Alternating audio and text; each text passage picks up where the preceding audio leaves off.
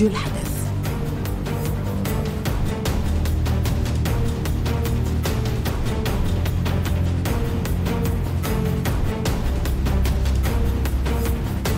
أهلا بكم مشاهدينا في برنامج استوديو الحدث لهذا اليوم إلى العناوين. في ثاني أيامها مفاوضات غزة تنتقل إلى القاهرة والواشنطن بوست تنقل عن مسؤولين أمريكيين التوصل لاتفاق إطار. الصحة اللبنانية تعلن مقتل 466 لبنانيا وإصابة أكثر من 1438 شخصا في القصف الإسرائيلي. بغداد تدين التوغل العسكري التركي في الأراضي العراقية وترسل وفدا أمنيا إلى أربيل. الاتحاد الإفريقي يشكل لجنة للاتصال بالبرهان وحميتي لوقف إطلاق النار فورا دون شروط. فتح باب الترشح لانتخابات الرئاسة في تونس وسعيد يقول إن هناك محاولات لتأجيج الأوضاع الاجتماعية تقوم بها أطراف إخوانية.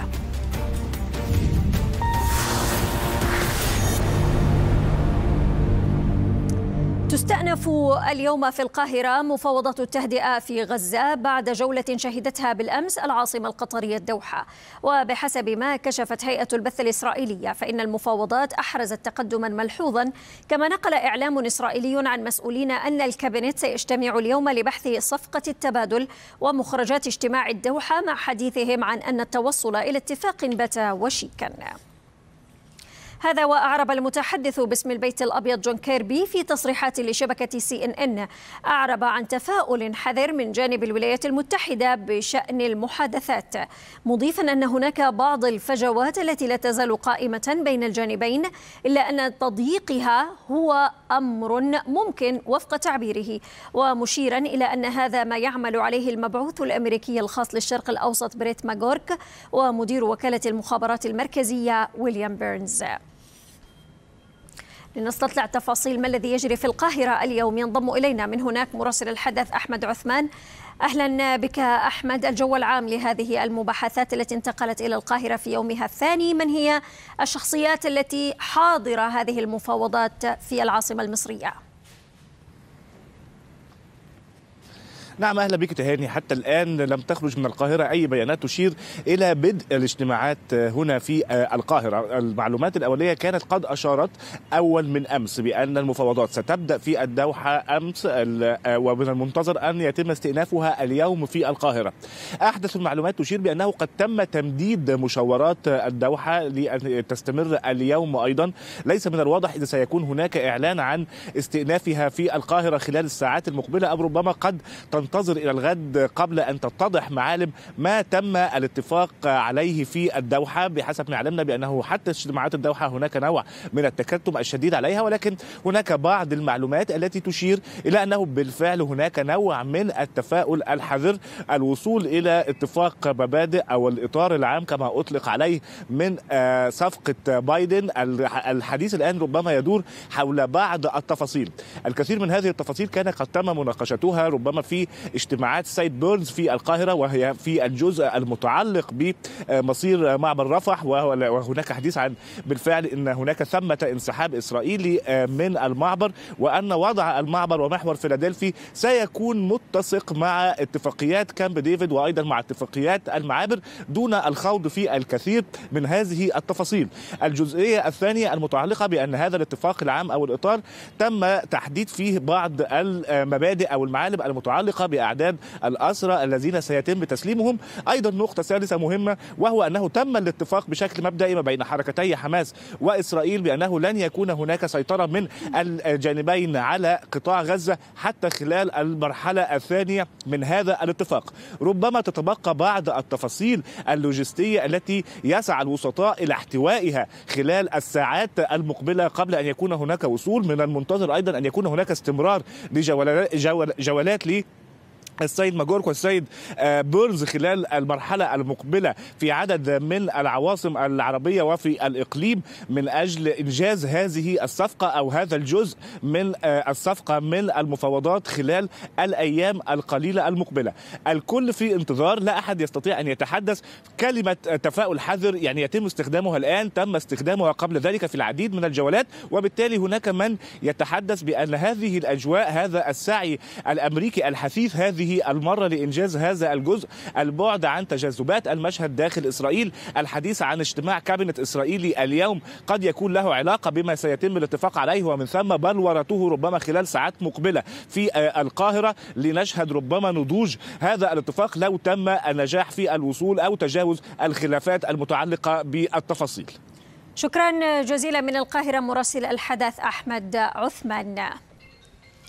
إذا مشاهدينا يبدو أن حرب غزة شارفت على نهايتها فثمة حديث عن اتفاق يبدأ بهدنة وينتهي بإعادة إعمار مرورا بتبادل أسرى ومعتقلين وحكم مؤقت للسلطة. تلك التطورات كشفت عنها صحيفة واشنطن بوست ناقلة عن مسؤول أمريكي وصفته برفيع المستوى أن الإطار العام للاتفاق أنجز وأن الأطراف تتباحث حاليا في كيفية التنفيذ ولكن ثمة احتمال أن يكون الاتفاق غير وشيك. وفق الصحيفة التي توضح أن تفاصيله معقدة وستستغرق وقتا للعمل عليها. الاتفاق وفق واشنطن بوست يتكون من ثلاث مراحل. مرحلة أولى وتبدأ بهدنة من ستة أسابيع يتخللها قيام حركة حماس بإطلاق سراح 33 محتجزا إسرائيليا بما في ذلك جميع الأسيرات. وجميع الرجال فوق سن الخمسين وكل الجرحى. في المقابل تفرج إسرائيل عن مئات الأسرى الفلسطينيين وتسحب قواتها من المناطق المكتظة بالسكان. كل ذلك مع تدفق المساعدات الإنسانية وإصلاح المستشفيات والبدء بإزالة الأنقاض. أما المرحلة الثانية فستنطلق فيها حماس أو ستطلق فيها حماس سراح الجنود المتبقيين لديها على أن يتفق الجانبان على نهاية دائمة للأعمال العدائية مع انسحاب إسرائيلي كامل من غزة. وهنا تشير الصحيفة الأمريكية إلى قبول إسرائيل وحماس بخطة حكم مؤقت. ستدشن تلك المرحلة حيث لا تحكم حماس ولا إسرائيل غزة. وعن تلك الخطة تذكر الصحيفة أن عديدها أو أن عديدها 2500 عنصر مدربين أمريكيا يتبعون للسلطة الفلسطينية. وقد سبق أن تم فحصهم إسرائيليا. ومع اتساع نطاق الأمن تأتي المرحلة الثالثة المتعلقة بإعادة إعمار القطاع ودائما وفق الصحيفة الأمريكية. هذا ويبقى أن الصحيفة الأمريكية وإذ كتبت عن مساعدة حاسمة لكل من مصر وقطر كشفت أن الدوحة أبلغت ممثلي حماس أنهم لا يستطيعون البقاء فيها في حال رفضوا ذلك الاتفاق. كشف مسؤول أمريكي أن واشنطن ستستأنف تزويد إسرائيل بالقنابل زنة 500 رطل وذلك بعد تعليقها لأكثر من شهرين. فيما كانت صحيفة وول ستريت جورنال قد نقلت معلومات تفيد بإرجاء إدارة بايدن إرسال تلك القنابل بسبب المخاوف من استخدامها في استهداف المدنيين في قطاع غزة. من القاهرة ينضم إلينا الدكتور أحمد الشحات أستاذ العلوم السياسية والمختص في الأمن الإقليمي والدولي. أهلا بك معنا الدكتور أحمد. يعني كانت تتحدث الجانب الإسرائيلي قال بأنه قد يلتزم بهذه التفاصيل إن لم تتجاوز حماس الخطوط الحمراء الإسرائيلية التي وضعها أو تحدث تحدث عنها نتنياهو. ما هي هذه الخطوط الحمراء من وجهة نظرك ولماذا الآن تطرح؟ مساء الخير على حضرتك وعلى السادة المشاهدين.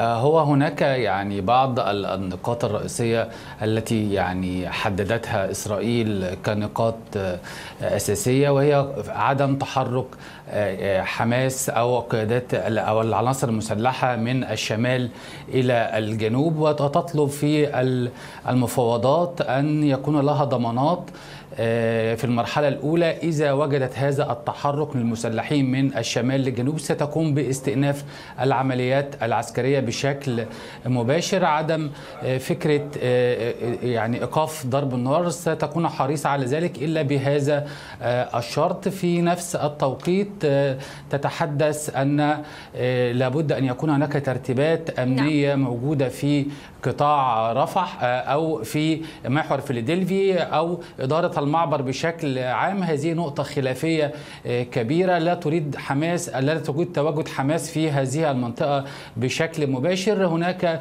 كما ذكرت حضرتك التجاوب مع فكرة أنواع وعدد ليس هناك اختلاف في عدد الأسرى ولكن في أنواع الأسرى والقيادات الرئيسية المئة التي تصر عليها حماس كقيادات من الممكن أن تكون محفزة لعناصر المقاومة بشكل أو آخر ولكن ليس هناك خلاف على عدد المجندات أو ال 33 في المرحلة الأولى. إسرائيل تريد ضمانات حقيقية من الولايات المتحدة الأمريكية ومن الدول الوسيطة للنقاط الرئيسية هذه بشكل مباشر. في نفس الوقت تحجيم حر... تحجيم أي قدرات عسكرية لحماس في المشهد وضمانة بعدم وجودها في المرحلة الثانية بأي شكل من الأشكال لاستعادة كفاءتها أو وجودها سواء في المشهد السياسي أو المشهد الأمني.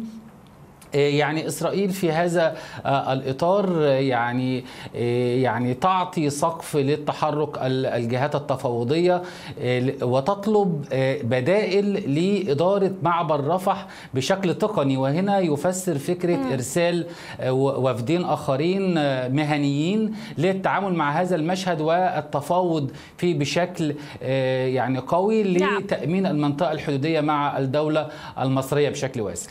طيب عندما تتحدث الصحيفة الواشنطن بوست وتقول بأن هناك قبول إسرائيلي مؤقت بوجود خطة محكمة لحكم حماس مؤقتا في قطاع غزة هذا تراجع عن المطلب الأساسي بتدمير حركة حماس وفشل تنفيذ السلطة الدولية أو مجموعة من القوى مجموعة من الدول التي تقوم على الإشراف الحكم في غزة. دلالة على ماذا هذا الكلام؟ وكيف يمكن أن يعزز مجددا من قدرات حماس وفتح جبهة جديدة للحرب في غزة؟ يعني اولا يعني يعني هذه ليست تصريحات رسمية ولكن سنعتمد عليها أو نفترض عليها إذا ولكن هي معلومات استخباراتية تمرر للصحف يعني الأمريكية. يا دكتور أحمد يعني ما بتخرج كده تخمينات؟ أعط... لا طبعا طبعا يعني دي وسيلة من أحد وسائل طرح بعض الأفكار و...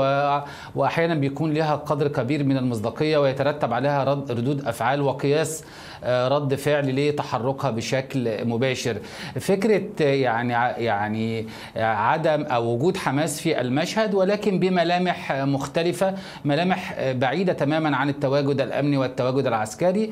هم في إدراك كامل من إسرائيل أن إنهاء حركة حماس بشكل مطلق من المشهد يعني هذا الموضوع صعب ولكن يعني كأمر واقع وتواجدها في النسيج الفلسطيني وتأثيرها بشكل بشكل مباشر حتى في المعادلة السياسية ممكن القبول بها ولكن بعناصر معينة لم تتورط في الحرب أو أو عناصر مؤيدة لها أو متعاطفة معها ولكن في إطار مدني. أعتقد أن هناك يعني يعني بالتعاون مع السلطة وفكرة التوافق الفلسطيني الفلسطيني سيكون لها إذا إذا إذا نفذت هذه العملية سيكون لها إطار حاكم يبعد كل العناصر العسكرية والأمنية من المشهد ويفرض عناصر جديدة تلعب الدور السياسي بشكل يعني يسمح بحالة توافقية في الداخل الفلسطيني ويعني ويكون واقعي بعيدا عن الأفكار التي من الممكن أو من الصعب تحقيقها على أرض الواقع. هل ممكن أن نشهد إعلان بدء تنفيذ المرحلة الأولى في هذه الجوله المباحثات في القاهرة؟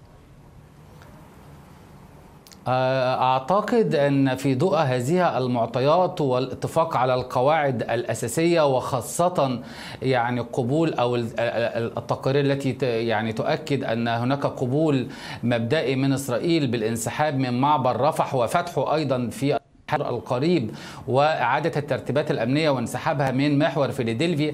هذا الموضوع موضوع مهم جدا وفكرة قبولها بعودة الأفراد تحت ضوابط من النازحين من الجنوب إلى الشمال تحت ضوابط أمنية وإن كانت ستأخذ جزء من المفاوضات. هناك بعد مهم جدا رغبة حقيقية من الولايات المتحدة الأمريكية في تحقيق نصر سياسي في هذه الأجواء الانتخابية داخل الولايات المتحدة الأمريكية. هناك ضغوط وحالة انقسام واسعة في الداخل الفلسطيني ما بين النسيج السياسي والعسكري. هذه الأمور أعتقد الشارع الإسرائيلي ويعني وتصاعد حدة التظاهرات هذه أوراق جديدة في هذه المرحلة. النقطة الأخرى بالنسبة لحركة حماس تفاقم الأوضاع الإنسانية نتيجة الضرب وتكثيف العمليات العسكرية الإسرائيلية في هذه المرحلة وأعتقد هم بدأوا المرحلة جيم أو المرحلة الثالثة بانتقاء بعض الأهداف والدلالة الأخرى يعني تغيير الوضع العملياتي على الأرض بشكل كبير. واستعادة حماس جزء من فعاليتها.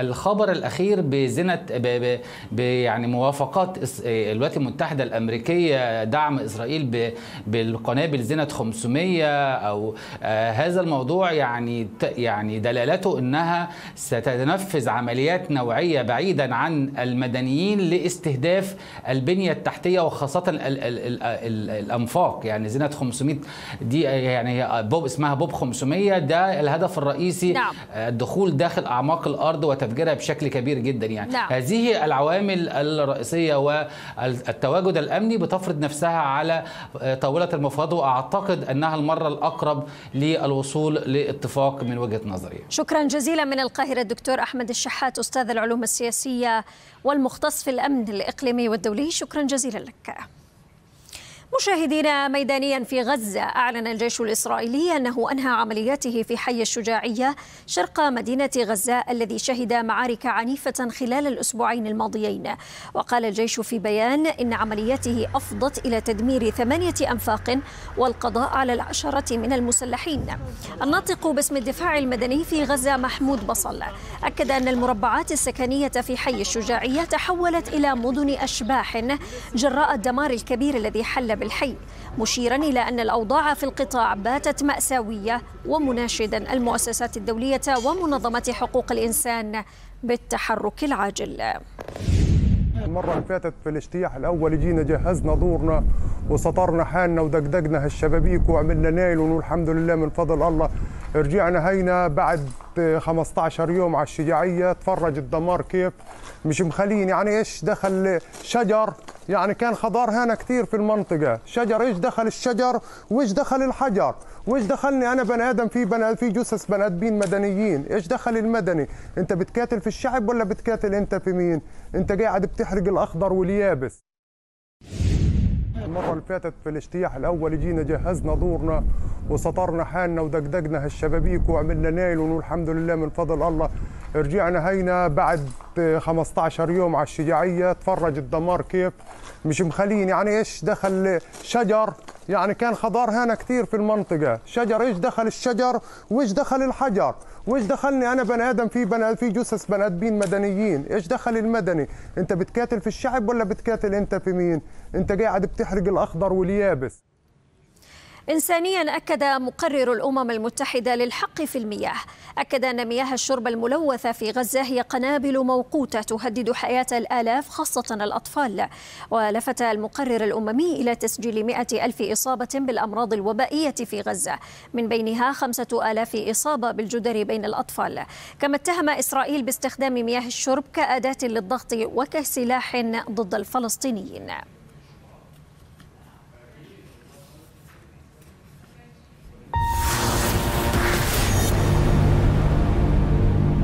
استوديو الحدث مستمر وفيه أيضا. وزارة الصحة اليمنية تناشد بتقديم دعم دولي طارئ للقطاع الصحي.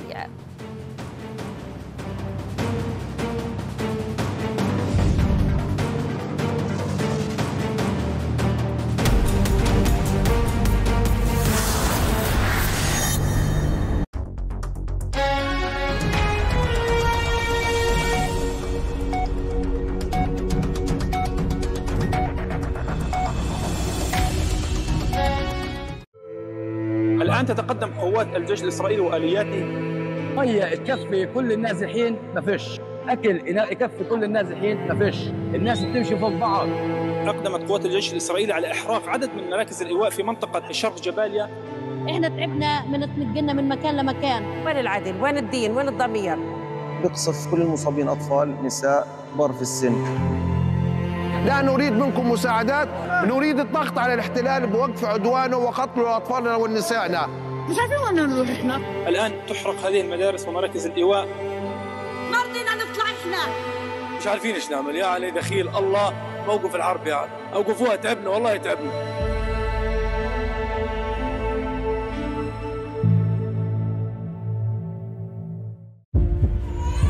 منذ ولدنا ونحن نصارع الحياة. نترك أشياء من أجل أشياء أخرى.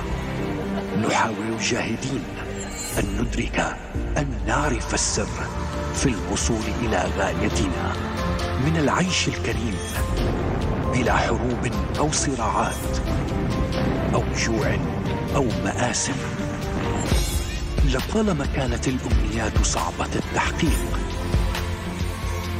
والأحلام تبقى أسيرة الواقع. الذي طالما ننتظره أن يتغير.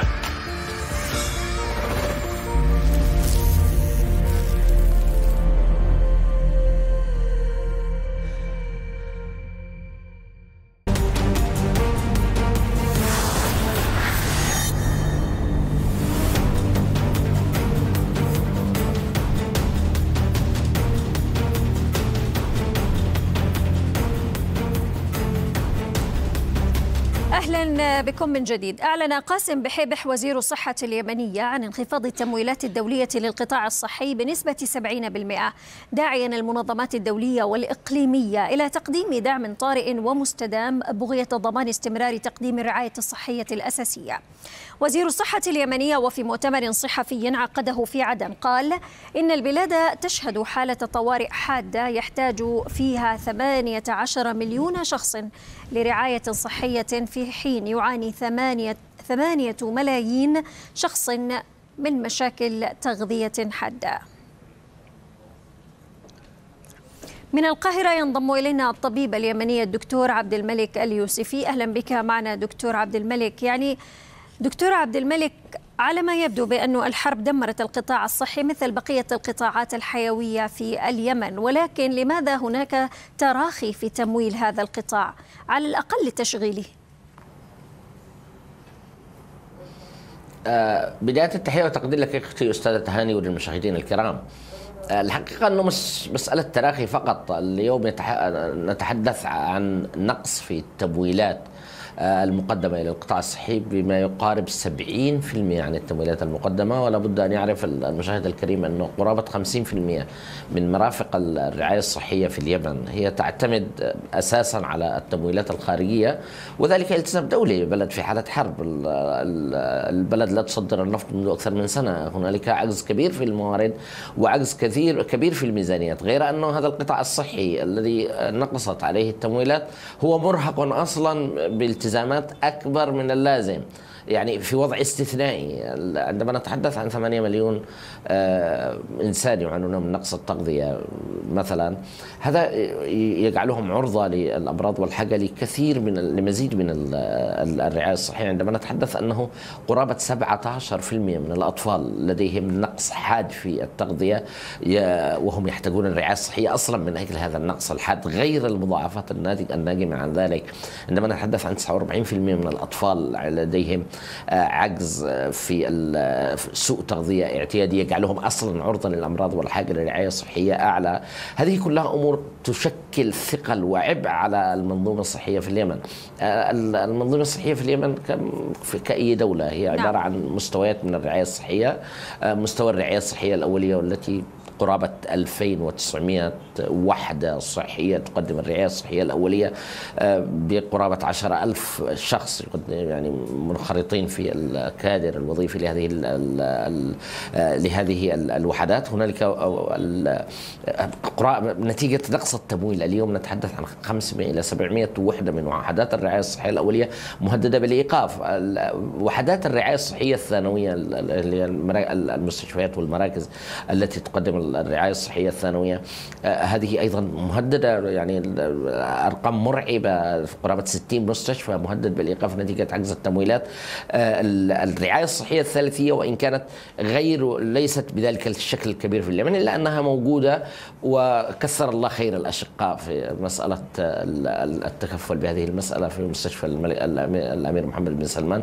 وأيضا ما يحصل الآن في المهرة من التجهيز لمدينة الملك سلمان تكون مرجعية في الرعايه الصحية غير وجود مراكز متخصصة معينة تقدم هذه الخدمة إلا أنه المشكلة الحقيقية هي في الرعاية الصحية الأولية بالإضافة إلى الطب الوقائي. اليوم نتحدث إنه هنالك مشكلة حقيقية نعم. تجعل الوزارة عليها عبء مالي وعبء تمويلي إضافي. دعيني أوضح للمشاهد الكريم إنه شلل الأطفال.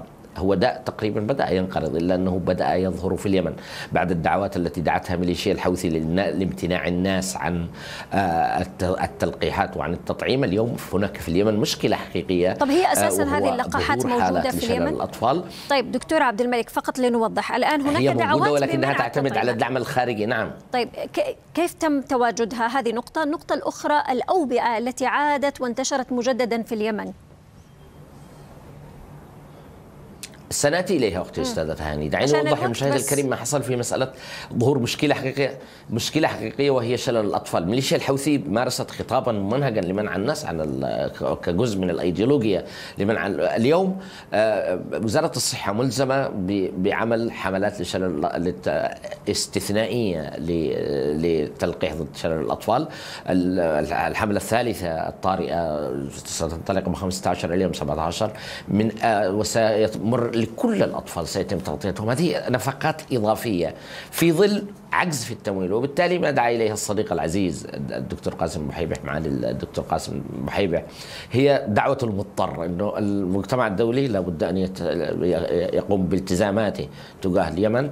هنالك مشكلة أيضا في المنظمات وفي التمويلات التي تذهب لوكالات الأمم المتحدة في القسم الضيزة في تقديم الدعم الذي يقدمه تقريبا أغلب ما يقدمه يذهب إلى صنعاء والى مناطق سيطره الحوثي آه، غير قائمين بالتزاماتهم تجاه الحكومة الشرعية التي هي الأساس أصلا. وإن كان ليس مشكلة لدى الدولة أن تذهب التمويلات من أجل يستفيد منها المواطن اليمني في أي مكان. ولكن اليوم هنالك كارثة حقيقية والدعوة التي أطلقها معالي الدكتور قاسم بحيبح هي دعوة المضطر بأنه لا بد من الوقوف مع القطاع الصحي لتلافي كارثة وشيكة تقويض جهود تقديم الصحة لليمنيين الذين هم منهكون أصلا. نعم. المساعدات التي تقدم من مركز الملك سلمان للإغاثة هي مساعدات تشغيلية أم مساعدات لدفع الرواتب؟ هذه نقطة. ماذا عن آه، الهيئات الإغاثية الدولية أيضا وحجم المساعدات التي تقدمها وكيف تصرف هذه المساعدات؟ أم هو هناك امتناع يعني أو تقليل لتقديمها بسبب الانتهاكات الحوثية الأخيرة آه، الفاعل الرئيسي في المشهد في القطاع الصحي في اليمن هو البرنامج السعودي لتنمية وإعمار اليمن.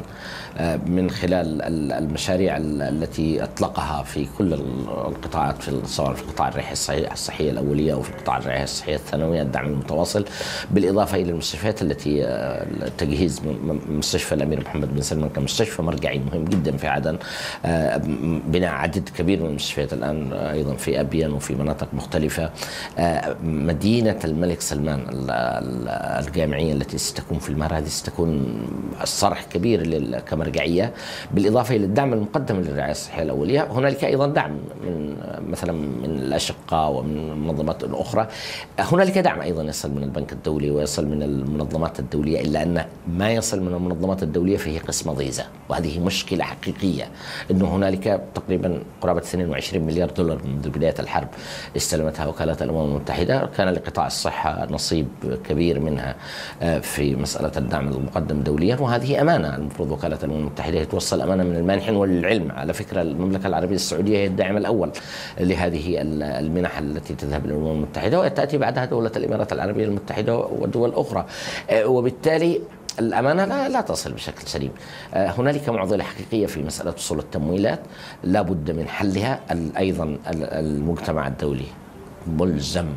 انسانيا وملزم اخلاقيا أن يقف مع اليمن لأن اليمن في حالة حرب الحكومة اليمنية غير قادرة على على توفير توفير التمويل اللازم والضغوطات القائمة على القطاع الصحي في اليمن يستلزم بتوفير التمويلات اللازمة لتوفير الحد. نحن لا نتحدث عن الترف الآن في تقديم الرعاية الصحية وإنما نتحدث عن أمور تتحدث تتعلق بالحياة هنالك الصحة الإنجابية وال- وحالات الوفيات التي تنجم نتيجة الولادة نعم. ونتيجة ضعف ضعف الرعاية المتعلقة بالانجاب هذه أمور أيضا ال- حياة الأطفال حياة الناس الحالات الطارئة التي تحصل بالتالي الاوتريتش المطلوب للناس من أجل الوصول إلى الرعاية الصحية سواء جغرافيا بتوفر مراكز الرعاية الصحية الأولية. أمر مهم جدا وأمر يتعلق بالحياة.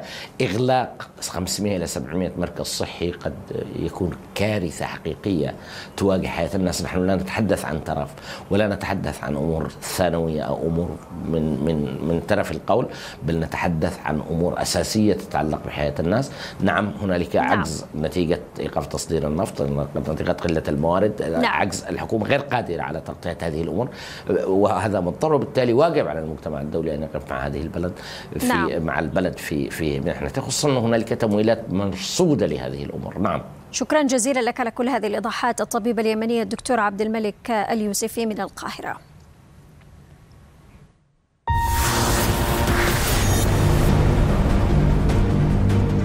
استوديو الحدث مستمر وفيه أيضا. إيران تعلن أن مراسم تنصيب الرئيس الجديد ستجري أواخر الشهر الجاري وبحضور دولي.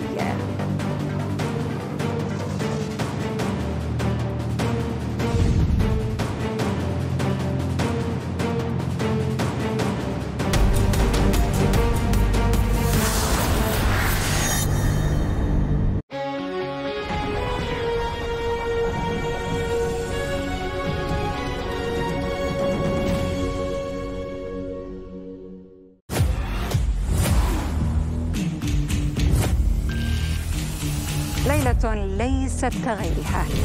ليلة لعرض المقدمات وطرح التساؤلات.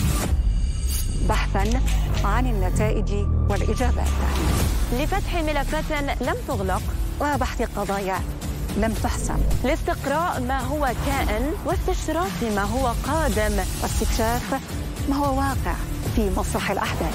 ليلة للحوار حول القائم والمستجد. لمشاركة الأطراف وتنوع الأطياف وبحضور الوسائل الأحدث في المتابعة والعرض والتحليل. الأخبار الليلة. يوميا الخامسة بتوقيت جرينتش على شاشة الحدث. في صمت الأشياء من حولك. في كل حركة متناغمة وسكون. في الانتظار لانتهاء الألم. في كل ثانية تمر. هناك أحداث. صراعات. في كل جزء من العالم. فكل لحظة ترسم مشهدا. تشكل خبرا. تصنع حدثا.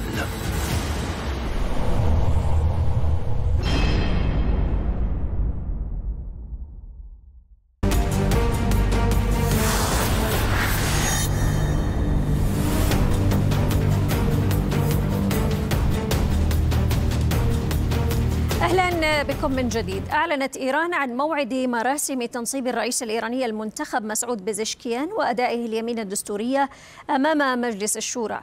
وحسب وكالة الأنباء الإيرانية قال عضو هيئة رئاسة مجلس الشورى الإيراني مجتبى يوسفي إن مراسم تنصيب الرئيس الإيراني الجديد وأداء اليمين الدستورية ستقام في الثلاثين من يوليو.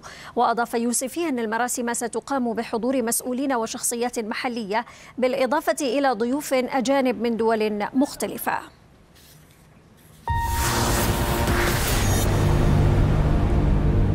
وصل مستشار الأمن القومي العراقي إلى أربيل على رأس وفد أمني رفيع لمتابعة ملف التوغل العسكري التركي داخل العراق والقصف الجوي على القرى الواقعة في سفح جبل كارا شمال محافظة دهوك.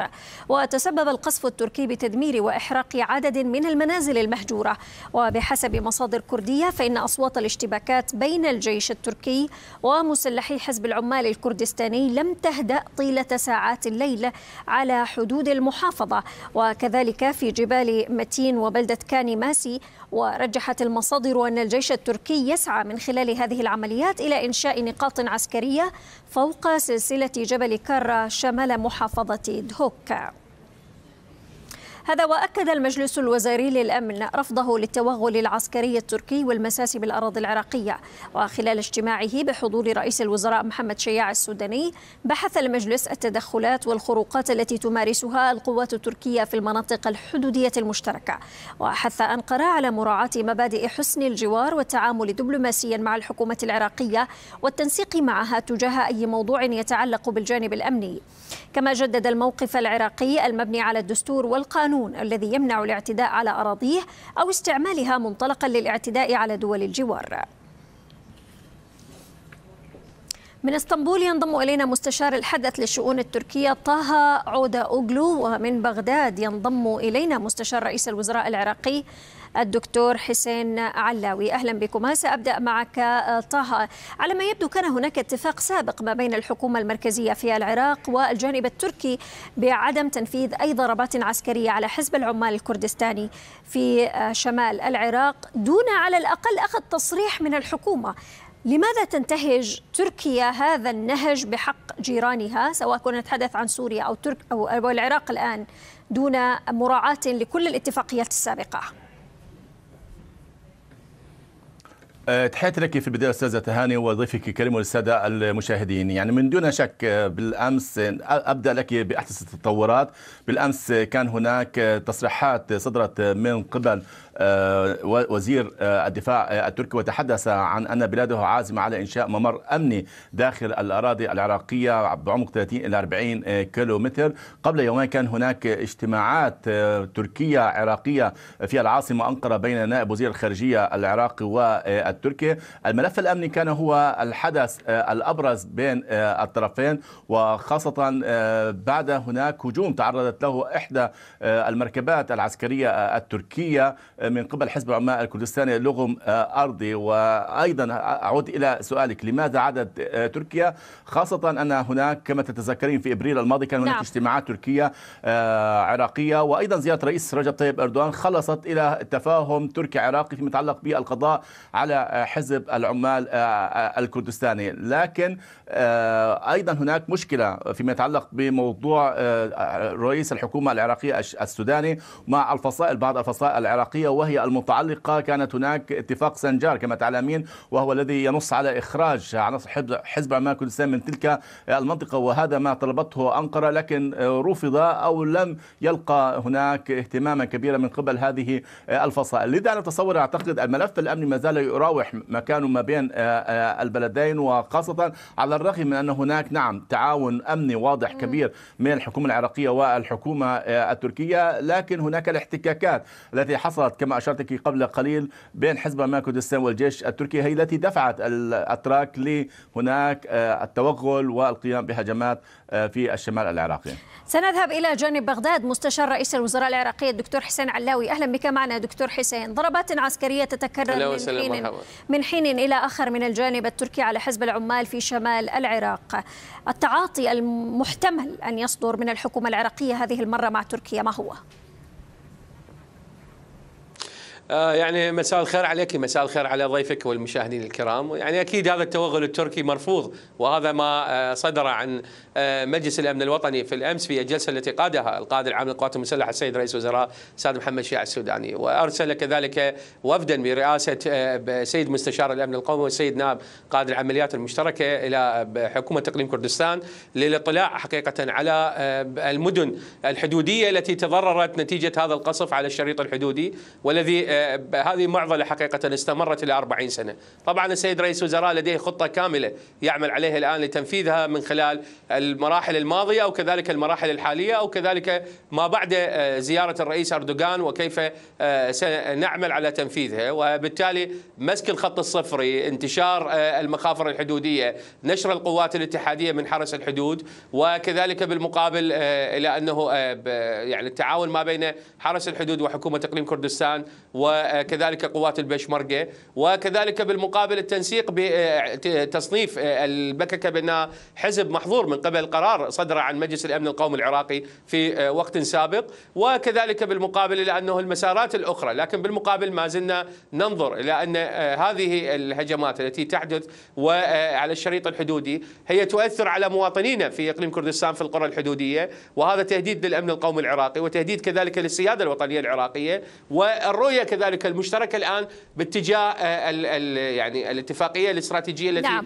وقعت ما بين العراق وتركيا من جهة والاتفاقات الأخرى التي تصل إلى 20 اتفاقا حقيقة بهذا المسار تشغل كل قطاعات التعاون المشترك. فبالتالي حقيقة ننظر إلى أن هذه المعضلة ستحل ولكن بالمقابل تحتاج إلى إجراءات مشتركة وهذه الإجراءات المنفردة من قبل الجانب التركي تؤثر على السيادة الوطنية العراقية تؤثر على الاستقرار. ولذلك السيد رئيس وزراء كلف مستشار الأمن القومي بأن يعني يذهب إلى إقليم كردستان يطلع بصورة ميدانية يقدمون تقرير مرة أخرى إلى مجلس الأمن نعم. القومي من أجل اتخاذ قرار. طيب. استراتيجي بهذا المجال. هل الحكومة المركزية تنظر إلى حزب العمال الكردستاني المتواجد في شمال العراق على أنه منظمة إرهابية كما تنظر إليه تركيا؟ لأنه ربما يكون هذا مربط الفرس أيضا يا دكتور حسين. نعم. هذه أول حكومة عراقية. تقود قرار استراتيجي أمام كل الجماعات التي ورثتها من النظام السابق ومن الحكومات حقيقة السابقة بأن تضع خيارات استراتيجية لحل هذه المعاضل سواء مع إيران أو كذلك مع تركيا. ولذلك لأول مرة نرى قرارا شجاعا صدر عن الحكومة العراقية بهذا المسار وأنهى قضية الجدل مع أو ضد. نحن الآن مع مسك السيادة الوطنية مع إنهاء أي تهديد يهدد دول الجوار وهذا الدستور العراقي يشير بهذا الصورة ووضح السيد رئيس وزراء بلقائه بالرئيس أردوغان هنا في العاصمة بغداد هذه النقطة. وكذلك بالمقابل حضر حزب العمال الكردستاني أو أي حزب مسلح حقيقة عمل في العراق خلال السنوات الماضية. لابد أن ينتهي نشاطه المسلح وإن كان يريد قضية اللجوء وغيرها من المسارات الأخرى. طبعا القانون العراقي والقانون الدولي كفيل بتفكيك هذه المشاكل والعراق كذلك لديه تجارب مع هذه المجموعات في إنهاء تواجدها على الأراضي العراقية وتعمل طبعا الحكومة العراقية برئاسة الأستاذ محمد شيع السوداني وكذلك بالمقابل الوزراء وحكومة إقليم كردستان وقادة القوى السياسية العراقية بهذا المسار لكن نحتاج وقت لأن هذه المعضلة منذ 40 سنة هي موجودة وتحتاج حقيقة إلى عمل كبير وهنالك إجراءات عملت عليها وزارة نعم. الداخلية الاتحادية نعم. من خلال نشر حرس الحدود من خلال مسك الخط الصفري ومن خلال نعم. كذلك بالمقابل انتشار طيب. القوات الأمنية ومراكز التنسيق المشترك ما بين نعم. قيادات العمليات المشتركة وقوات البشمركة. طيب طه أريد أن أسألك على تعاقب الحكومات في العراق. كيف تواجه تركيا مشكلة في التعاطي مع هذا الملف؟ بمعنى كل رئيس حكومة يأتي يكمل ما بدأه من هو قبله أم كل شخص لديه ملف ولديه رؤية مختلفة للتعاطي مع هذا الملف وتحديدا مع تركيا؟ يعني أنا أستاذ تهاني أتفق مع ضيفك من العراق يعني الحكومة العراقية الحالية هي تختلف تماما عن باقي الحكومات السابقة. أتذكر عندما زار الكاظمي إلى العاصمة التركيه أنقرة تم هناك اتفاق على محاربة حزب العمال الكردستاني ولكن كانت هناك الحكومة العراقية كانت تواجه مشاكل في تلك الفترة محاربة داعش في الموصل وأيضا مشاكل داخلية. لكن الحكومة الحالية وخاصة يعني في هذه المرة وعد تماما بأن العقدة الأساسية في العلاقة التركيه التركية العراقية هي حزب العمال الكردستاني تتذكرين زيارة أردوغان نعم. إلى العراق في إبريل الماضي كان هناك اتفاق اقتصادي آخر فيما يتعلق بموضوع طريق التنمية. طريق التنمية من أجل تنفيذ هذا الطريق يجب تطهير المنطقة من أي عقبات يعني هناك إرهابية إن كانت من حزب العمال الكردستاني أو أي منظمات ميليشيات إيرانية تعرقل هذا الطريق الذي سوف يضر ب يعني الأموال على كلا البلدين. العراق سوف تتحرر اقتصاديا. تركيا سوف يكون في ظل الأزمة الاقتصادية تمر بها. يكون لها أيضا هناك نقطة أو مهمة جدا في هذا المجال. لذا أنا تصوري أعتقد الجانب التركي في الفترة الأخيرة ومع هذه الحكومة لاحظنا أيضا هناك تفاهمات. هذه المرة نلاحظ على عكس الزيارات السابقة أو الوزراء أو الحكومات السابقة في موضوع المياه. تم تشكيل لجان. نعم المشكلة ما زالت موجودة لم تحل بالكامل لأنها مشكلة معقدة من منذ سنوات. لكن لاحظنا أن هناك نوع من الليونة في الجانب التركي في موضوع المياه. لكن أنا بتصوري النقطة النقطة الأساسية وهي المتعلقة بحزب العمال الكردستاني. الحكومة العراقية نعم هناك آه، لا أقول نية ولكن هناك إرادة وهذه نقطة مهمة للغاية على خلاف الحكومات السابقة ويجب أن تتحول هذه الإرادة أو تترجم على أرض الواقع. وكما أشرت قبل قليل كان نعم. هناك اتصالات من قبل حكومة السوداني مع الفصائل العراقية لموضوع توقيع أو آه، موضوع اتفاق سنجار وإخراج عناصر حزب عمان الكردستاني حتى تستطيع العلاقة التركية تعود آه، من جديد ويتفاهما البلدان في القضايا الاقتصادية بدلا من آه، مشاكل يعني ما ذكرته يا طه. آه، هي منذ نعم أستاذ طه يعني اللي أنت ذكرته جميل جدا وفق الرؤية التركية والرؤية العراقية ولكن هناك دول فاعلة أيضا في العراق هل هي من وجهة النظر التركية تريد نفس هذه المصلحة للبلدين؟ يعني سؤال في غاية الأهمية وسؤال جوهري يعني تركيا هي حاليا هناك قناعة تركية لحكومة حزب العدالة والتنمية منذ تقريبا عامين وهي التفكير بالاقتصاد والمصالحة كما تابعنا. لكن هناك بين قوسين إيران هي والميليشيات الإيرانية والحشد الشعبي هي ساهمت بشكل كبير في عرقلة أي آه، اتفاق إن كان يعني تابعنا على الساحة السورية قبل فترة وحتى على الساحة آه، العراقية. وهي كما اشرت لك قبل قليل نوهت إلى نقطة مهمة وهي طريقة التنمية وهذا مرفوض إن كان امريكيا وحتى آه، ايرانيا حتى آه، لا تت- تتحرر العراق اقتصاديا والعراق التي عادت إلى الحضن العربي مؤخرا وأصبحت دولة يعني في غاية الاهميه خاصة في ظل الزيارات والانفتاح بشكل كبير. الجميع حاليا يفكر بأن العنوان العريض في المنطقة وأقصد دول الجوار الاقتصاد يعني هناك الاقتصاد ولا وقت للسياسة آه، كما حصل في السابق المشاكل السياسية ما بين الأطراف.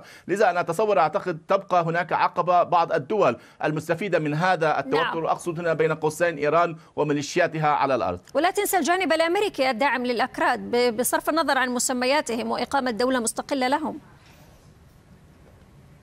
من من دون شك الولايات المتحدة الأمريكية كانت في سوريا أو حتى في آه، العراق آه، هي يعني تدعم بشكل واضح ولكن كما أشرت بمقاربات مختلفة وحسب المقاربة ال- آه، الأمريكية إن كانت موضوع قسد أو حتى في العراق كما أشرت لك موضوع طريق التنمية هذا نعم. لاحظنا أن هناك غضب خلال الفترة الأخيرة الماضية من قبل نعم. واشنطن حول هذا الموضوع ووجود حزب عمان الكردستاني هو نعم. يفيد هذه الدول ويضر بالمصالحة التركية نعم. العراقية دكتور حسين يعني آه، الحديث يجعلك تبتسم. أنا عندي فضول أعرف أسباب هذه الابتسامة.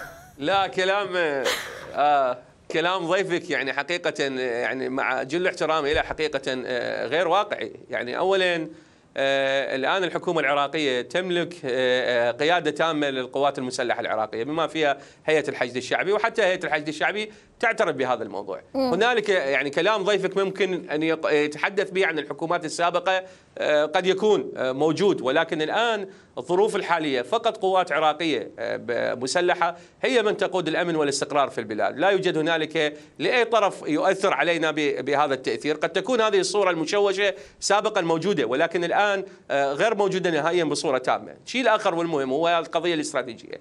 العراق الآن ينظر لتحويل المنطقة إلى مسار اقتصادي ويتشارك طبعا مع المملكة العربية السعودية مع تركيا مع حتى إيران مع الأردن مع مصر ومع كذلك الإمارات العربية المتحدة ومع قطر باتجاه تحقيق نقلة في المنطقة لأن المنطقة بالفعل تحتاج إلى تحول اقتصادي. ولذلك طريق التنمية عندما بدأت التفاهمات به وقاد السيد محمد الشيع السوداني رئيس الوزراء العراقي حقيقة مع الجانب التركي ومع الدول الرباعية التي شكلت الآن اللجنة الرباعية العراق وكذلك بالمقابل الإمارات وقطر وتركيا. نسير بهذا الاتجاه. قضية البككة تبقى هذه أحجية. هذه الأحجية الاستراتيجية تستخدم بين الحين والآخر على الشريط الحدودي. امتداداتها طبعا ما يخصنا. كعراقيين على الخط الصفري وعلى القرى الحدودية هو التحدي الكبير الذي ينبه الآن عليه السيد رئيس وزراء الجانب التركي ويؤكد على أن سياسة حسن الجوار لا يعني أننا نتغاضى عن سيادتنا الوطنية لا يعني أننا نعطي مبرر لقصف هذه القرى التي فيها أهلنا من إقليم كردستان من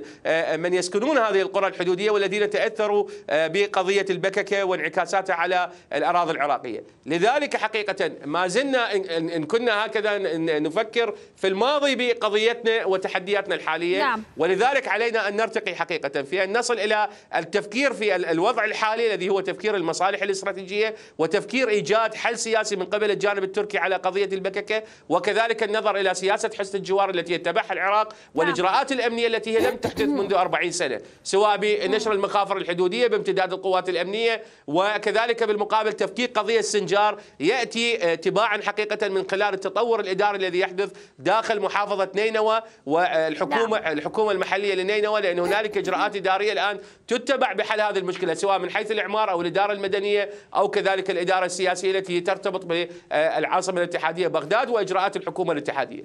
طيب آه، حضرتك يا دكتور حسين ذكرت بأنه الحكومة تحتاج مزيد من الوقت ما هو الوقت المطلوب؟ هل الوقت هو في المدة الزمنية لحكومة السيد السوداني أم سيتجاوزها؟ لا لا ما أتوقع سيتجاوزها إن كانت هنالك المسارات طبيعية،. المشكلة إن دول الجوار في بعض الأحيان ومنها تركيا تضغط باتجاه إحياء المشاكل القديمة التي لديها مع آه، قضية البككة وانعكاساتها على الأمن القومي العراقي. الآن ال- السيد رئيس وزراء وكذلك ال- القيادات السياسية الوطنية في البرلمان تريد أن تفك هذا الاشتباك من خلال مسار استراتيجي صحيح، نعم. سواء بتفكيك قضية السنجار وانهائها من حيث حلول إدارية وقانونية وسياسية واجتماعية حقيقة وهذا بالتالي ما تعمل عليه الحكومة الاتحادية بالتعاون مع آه، يعني الحكومة المحلية في نينوى وكذلك بالمقابل مع حكومة إقليم كردستان وكذلك قضية ال- ال- ال- النازحين الذين ورثناهم من آه، آه، قضية كقضية كبرى من التنظيم الإرهابي داعش ونزوح العوائل نحو إقليم كردستان والمخيمات وكذلك بالمقابل القصف ال- التركي الممتد على الشريط الحدودي والذي ينعكس في بعض الأحيان على القرى آه، آه، الحدودية آه، للمواطنين آه، العراقيين الذي يقطنوها من إقليم كردستان. وهذا بالتالي ما يجعل اقتصادهم يتأثر، اقتصاد المحلي يتأثر، حياتهم كذلك آه، تواجه تحديات ولذلك ما يهمنا هو المواطن العراقي في أقصى الحدود آه، العراقية التركية لأننا نريد أن نحميه ونقف معه ويبقى يستمر بحياته بصورة طبيعية ولذلك نعم. إنهاء قضية البككة آه، تحتاج إلى مسارات من قبل الجانب التركي من جهة إضافة أن تنظر إلى الإجراءات الجديدة التي اتخذتها الحكومة العراقية شكرا يا بهذا المسار. دكتور انتهى وقتنا شكرا من بغداد مستشار رئيس الوزراء العراقية الدكتور حسين علاوي وأيضا معنا من إسطنبول مستشار الحدث للشؤون التركية طه عودة أوغلو شكرا جزيلا لكم Roma. في أول سلسلة تقارير الحدث الخاصة من داغستان. وقفت الحدث على تفاصيل أحداث المواجهات المسلحة بين مجموعة شبان داغستانيين قاموا بفتح النار في مناطق مختلفة ضمن مدينتي محج قلعة ودربند. ما أدى لمقتل 22 شخصا من رجال الشرطة والمدنيين بمن فيهم قس كنيس يهودي وحارس كنيسة بالإضافة لعشرات المصابين. هذه هي مدينة محج قلعة عاصمة داغستان تلك الجمهورية القوقازية الروسية التي شهدت مواجهة مسلحة قبل نحو أسبوعين من الآن هنا العربية تقف شاهدة بالصوت والصورة على ما حدث وتتنقل بين مناطق إطلاق النار وروايات من عاش لحظات الواقعة Хочется задаться вопросом, если эти люди يخطر ببالي سؤال وهو إن كانت هذه الجريمة نصرا للإسلام كما يدعي منفذو العملية. فكم شخصا اعتنق الإسلام بعد سفك هذه الدماء؟ في هذا المكان فتح ثلاثة أشخاص النيران على سيارة شرطة عند مفترق طرق وسط المدينة.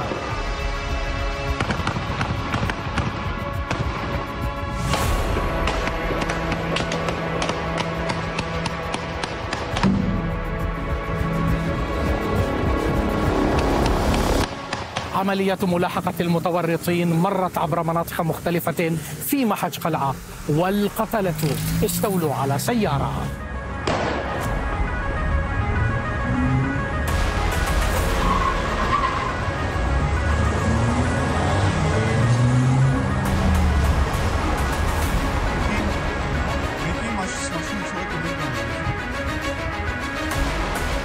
Стрельба началась. كنت موجودا بالقرب من مكان إطلاق النار. في البداية قاموا بقتل رجال الشرطة الذين كانوا هنا ومن ثم أطلقوا النار على سيارة دورية كانت تمر بالمكان. كان الوضع مخيفا. لأول وهلة توقعنا أن ما حدث هو محاكاة لعملية تدريب. لكن المشهد تغير عندما رأينا رجال الشرطة مدرجين بدمائهم على الأرض. لقد حاولت إجلاء من تمكنت من المارة بعد عدة ساعات من المواجهات المسلحة في شوارع محج قلعة المتبقي الوحيد من منفذي العملية اتجه نحو كنيسة المدينة. هنا أردى حارس المكان قتيلا حين اعترض الأخير طريقه. توجه الجمهورية الآن نحو تكثيف الجهود خاصة مع جيل الشباب للنهوض بوعيهم وكما شاهدنا أن بعض أفراد العملية هم أبناء مدير منطقة داغستانية ما يعني أن الأب ليس له تأثير على أبنائه. عند هذه الكنيسة انتهت العملية لكن ثمنها جاء باهظا حيث سقط عدد من رجال الأمن والمدنيين بين قتيل وجريح. عبد الجواد الروشد الحدث. محج قلعة. إلى اللقاء مشاهدينا في الساعة الثانية بعد قليل.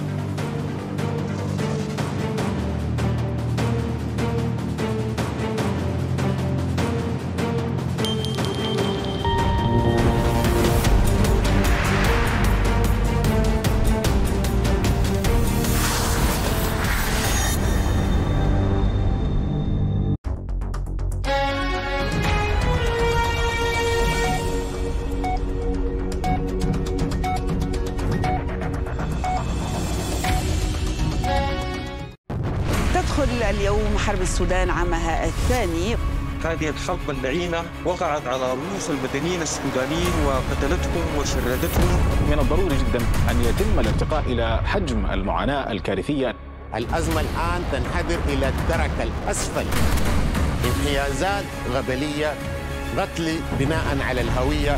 90% ممن يواجهون مستويات الطوارئ من الجوع في السودان محاصرون في مناطق القتال الدائر. حضرتك تقول أن قوات الدعم السريع متعاونة بموضوع إيصال المساعدات فيما الجيش غير متعاون؟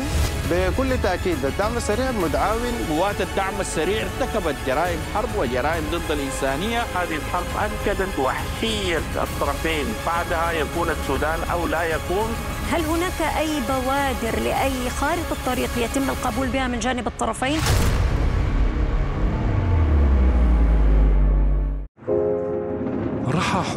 لا تتوقف. تحطم كل شيء. تاركة خلفها ذاكرة ورماد. وحكايات يرويها من بقي منهم. لكي تبقى شاهدة على المكان والزمان والإنسان.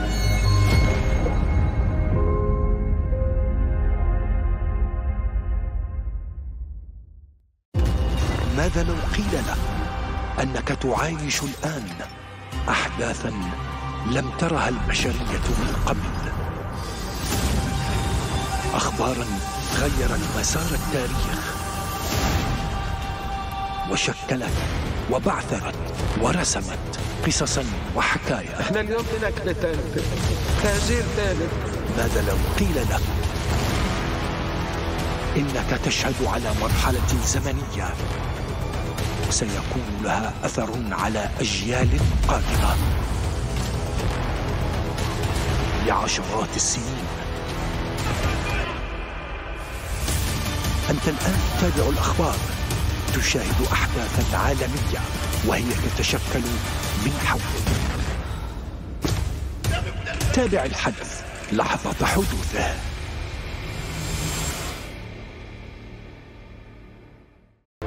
الدقة الموضوعية والسرعة في نقل الأحداث كما هي. مهمة أخذناها على عاتقنا منذ البداية الأولى ولأننا نعيش في عالم التحولات السريعة. كنا دائما في قلب الأحداث بحثا عن الكلمة والمعلومة. نحن هنا لنقل وتوثيق وتحليل ما يدور على الساحات الإقليمية والدولية. الحدث حيث يلتقي الواقع والإبداع في العرض والتحليل على مدار الساعة.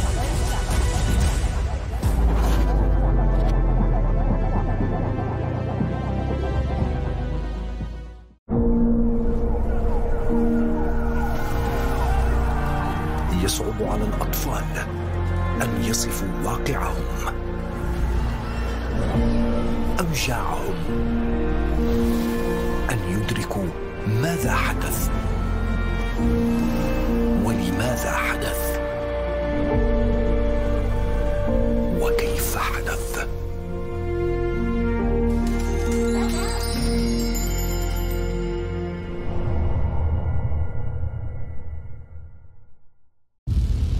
يتعرض معظم سكان الأرض لتقلبات جوية حيث الأعاصير والزلازل وارتفاع درجات الحرارة. فتسببت بوفاة وتهجير الملايين وأضرار اقتصادية هائلة. ففي كل لحظة هناك أناس يواجهون التغير المناخي في بقعة ما من هذا الكوكب. فنحن لا نقف عند آثار ذلك عليهم. بل نحاول جاهدين أن نبحث في كيفية إيجاد الحلول لمواجهة هذه الأزمة العالمية مع الخبراء والمختصين. The climate crisis is spiraling out of control.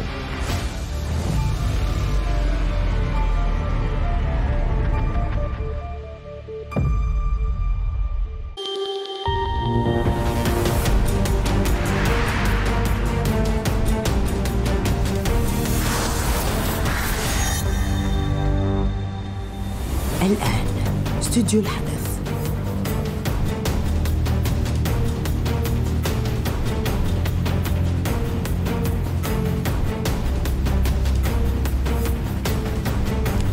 أهلا بكم مشاهدينا في الساعة الثانية من استوديو الحدث إلى العناوين. في ثاني أيامها مفاوضات غزة تنتقل إلى القاهرة والواشنطن بوست تنقل عن مسؤولين أمريكيين التوصل لاتفاق إطار. الصحة اللبنانية تعلن مقتل 466 لبنانيا وإصابة أكثر من 1438 شخصا في القصف الإسرائيلي. بغداد تدير التوغل العسكري التركي في الأراضي العراقية وترسل وفدا أمنيا إلى أربيل. الاتحاد الإفريقي يشكل لجنة للاتصال بالبرهان وحميتي لوقف إطلاق النار فورا دون شروط. فتح باب الترشح لانتخابات الرئاسة في تونس وسعيد يقول إن هناك محاولات لتأجيج الأوضاع الاجتماعية تقوم بها أطراف إخوانية.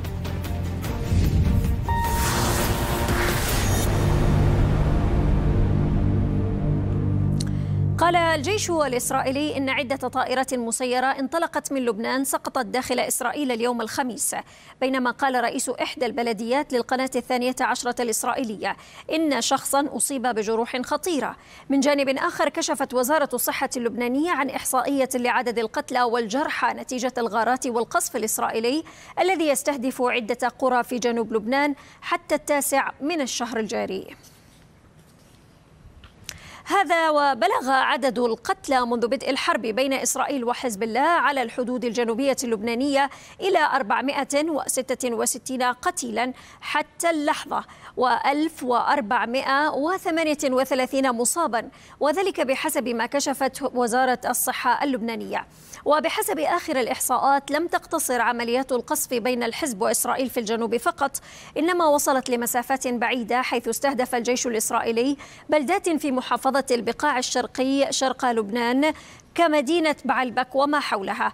في المقابل أعلن حزب الله قصف قاعدة تخزين ذخيرة قرب طبرية التي قال الإعلام الإسرائيلي إنه أعمق قصف حتى الآن إذ طال مسافة 60 كيلومترا. فضلا عن قصف قاعدة ميرون للمراقبة الجوية في الجولان السوري المحتل ومنذ بداية الحرب رصد الجيش الإسرائيلي 5450 عملية إطلاق صواريخ باتجاه شمال إسرائيل بما في ذلك 150 عملية إطلاق في يوم واحد خلال يونيو الماضي. وأفاد المركز مركز ألما للأبحاث والتعليم الإسرائيلي بأن الغالبية العظمى من عمليات إطلاق الصواريخ خلال الأشهر الثلاثة الأولى من الحرب كانت صواريخ مضادة للدبابات باتجاه المناطق الأقرب إلى الحدود. أما في شهر مارس زاد حزب الله من استخدام الطائرات المسيرة بشكل متكرر باتجاه شمال إسرائيل. إلى ذلك شددت الأمم المتحدة قبيل جلسة المشاورات المقرر أن يعقدها مجلس الأمن حول تنفيذ القرار 1701 قبل نهاية الشهر الحالي. شددت على ضرورة استعادة الهدوء في شمال إسرائيل وجنوب لبنان لإفساح المجال أمام السكان للعودة لمنازلهم في كلا الطرفين. من بيروت ينضم إلينا الكاتب الصحفي إبراهيم ريحان. أهلا بك معنا. قبل أن نستطلع منك باقي التطورات الميدانية التي انعكست على هذا الرقم من القتلى والجرحى انعكاسات هذه الأرقام على الشعبية في لبنان على شعبية حزب الله في لبنان كيف يتم التعاطي معها من وزارة الصحة؟ وأما إلى ذلك إن كانت تعتبر هذه الأرقام من القتلى هي ورقة مفاوضات داخلية وأيضا مع هوكشتاين عندما أو دائما يعني وقت ما يعود إلى لبنان للتفاوض. نعم. اولا التحية لك وللمشاهدين والفريق العامل. آه الإحصائية التي أعلنتها اليوم وزارة الصحة آه هناك تفتقر إلى تدقيق بمسألة معينة أن أكثر أو غالبية الضحايا التي ذكرتهم وزارة الصحة هم عناصر في حزب الله. وهناك عدد من المدنيين لكن أكثرية هذه الإحصائية تتعلق بمقاتلي حزب الله بالدرجة الأولى. ولكن الإصابات التي بلغت 1438 بحسب الإحصائية تشكل قسم كبير منها للمدنيين. وهذا آه، يعني إذا قورن بمسافه تسعة أشهر من العمليات والقصف المتبادل على الحدود يعني أنها حتى اللحظة لا ترقى إلى أرقام الحرب التي تشبه حرب 2006 اللي هي حرب تموز عام 2006 اليوم الوضع مختلف لا تزال الحرب في إطار الاستنزاف من من الجانبين ولكن التأثير الأكبر للحرب اليوم هو على البيئة الحاضنة لحزب الله في مناطق الشريط الحدودي حيث أن أكثر البلدات الواقعة على الشريط من الناقورة وصولا إلى تخوم آه، منطقة شبع وحصبية. آه، هناك دمار واسع وهناك بلدات مدمرة بشكل بات يمكن القول أنها بشكل شبه كامل. آه، وهذا ما يعطي انطباعا معاكسا لدى بيئة حزب الله. هناك من فقدوا أشغالهم وأعمالهم. وهناك البيئة الأكثر هي من المزارعين الذين يعتمدون على موسم التبغ والزيتون وقد فقدوا محاصيلهم على الموسم الماضي. ويبدو أن الموسم المقبل هو الموسم الحالي سيكون الأمر عينه عدا عن فقدانهم لمنازلهم وسوى ذلك وحتى فقدانهم لمدخراتهم التي استعملوها لاستئجار المنازل خارج هذه المنطقة أو لتوفير احتياجات اللجوء. لأن الدولة اليوم في لبنان غير قادرة على تأمين حاجيات اللجوء وكذلك الأمر يعني حتى حسب المعلومات حزب الله لا يقوم بكل ما يلزم بين يعني بهذا الإطار لتأمين النازحين أو اللاجئين من البلدات الحدودية. وهذا ما من شأنه أن يؤثر سلبا على بيئته الحاضنة بغض النظر عما إذا كان سيعوض هو عليهم بعد الحرب أم لا. طيب بالنسبة للتطورات الميدانية يعني يوم أمس تقريبا عندما انطلقت المفاوضات في الدوحة كان هناك نوع من الهدوء النسبي على الأقل على جانب الحدود بين الجانبين. كيف يبدو المشهد اليوم مع انطلاقها في القاهرة؟ نعم المشهد اليوم في لبنان يعني معروف اولا أن حزب الله وحتى يعني الفصائل المنضوية تحت لواء القدس الإيراني كلها تستعمل نفس التقنية الإيرانية وهي التفاوض استخدام النار للتفاوض. يعني إطلاق اليوم المسيرات من جنوب لبنان آه، يأتي في إطار محاولات الضغط على المفاوضات في قطاع غزة وذلك تعقيبا على ما قاله أمين عام حزب الله يوم أمس حيث قال إننا سنقبل بكل ما تقبل به حركة حماس. يعني كأنه يفوض حماس بالقول نعم أو لا على صفقة التفاوض بينما هو يحاول أن يضغط عسكريا في هذا الإطار. آه، الوضع في لبنان وإن كانت الجبهة مرتبطة ارتباطا وثيقا بجبهة غزة لكن اليوم الأفق السياسي لهذه المفاوضات الهدنة تسير بحذر. يعني ليست مضمونة أنها النجاح ولا نستطيع أن نحتم فشلها. هي تسير بحذر وهناك خلافات تكون على أدق التفاصيل على الكلمة والكلمة الأخرى. يعني يتم تغيير بعض العبارات. ليست المسألة بهذه السهولة وهذا ما يعني أن الجبهة اللبنانية كان من الجانب الإسرائيلي أو من جانب حزب الله قد تلجأ إلى بعض الضغوطات العسكرية أكثر وأكثر من أجل ربط هذا ما يحصل بالمفاوضات بين الدوحة والقاهرة التي يبدو أنها مفاوضات صعبة وشاقة ولن تكون سهلة كما يحاول البعض تصورها لأن في المرحلة الثانية من المفاوضات في غزة في حال بدأ وقف إطلاق النار والهدنة هناك مفاوضات ستكون أيضا شاقة تتعلق بوضع الحدود مع لبنان حيث هناك مقترحات أمريكية مقدمة وبحسب المعلومات حزب الله وافق على قسم كبير منها لكن هناك قسم يعتبره يحتاج إلى تفاوض أكثر وأكثر مع الأمريكيين خصوصا ما يتعلق بتعزيز اليونيفيل في الجنوب وتعزيز عمل يونيفيل وتعزيز مراقبين دوليين نعم. في تلك المنطقة وهذا ما آه، يخشى منه حزب الله ولا يريد هذه النقطة أن تحصل. طيب آه، يعني المؤشرات تقول بأنه أو الأوراق المطروحة الآن على الطاولة انسحاب حزب الله مقابل أن لا يكون هناك عملية عسكرية خاطفة من الجانب الإسرائيلي. هذا جانب. الجانب الآخر إذا كان هناك ربط من جانب الحزب للمفاوضات التي تجري آه، لغزة هناك نفي إسرائيلي لذلك. فنحن أمام مشهد يا إما أن تكون هناك ضربة عسكرية بعيدة كل البعد عن ارتباطها بغزة على الحزب ولكن ذلك مقابل انسحابه من عدمه. أي أي أي وجهة نظر ممكن أن تكون قابلة للتطبيق؟ نعم وجهة النظر القابلة للتطبيق هي في حال وصل المتفاوضون حول غزة إلى وقف إطلاق نار حزب الله سيوقف إطلاق النار وينسحب على طريقته كما حصل في عام 2006 أن يخفي المظاهر المسلحة في جنوب لبنان وحينها ستكون يعني سيكون الجانب الإسرائيلي قادر على أن يقول أن حزب الله تراجع عن الحدود. ولكن في حال لم ينسحب الهدوء على الجبهة اللبنانية تكمن الخشية من العملية العسكرية الإسرائيلية على تلك الحدود خصوصا إذا أصر حزب الله على وقف إطلاق النار من دون أن يقدم خطوات ملموسة تتعلق بتراجع عناصره خصوصا قوة الرضوان وفرق الفرق التابعة لها من المنطقة الحدودية. لأن الخلاف اليوم بحسب المعلومات أن هوكستين يركز على قوة على فرقة الرضوان وليس على شيء آخر. لماذا؟ لأنها قوة قوة اقتحامات. هي فرقة خاصة للاقتحامات. ولا يريد لا الأمريكيون ولا الإسرائيليون أن يروا أن يروا ولو تخيلا نعم. لمشهد 7 أكتوبر ينطلق من الأراضي اللبنانية. فهذه ستكون عقدة المفاوضات ولكن أعتقد أن حزب الله آه، يأس من هذه الحرب ويريد وقف إطلاق نعم. النار في غزة كي يوقف إطلاق النار لأنه استنزف واستنزف قادته وعناصره في هذه المعركة إلى أي مدى تأثر حزب الله من الضربات الإسرائيلية بعد فقده الرعيل الذي يعتمد عليه؟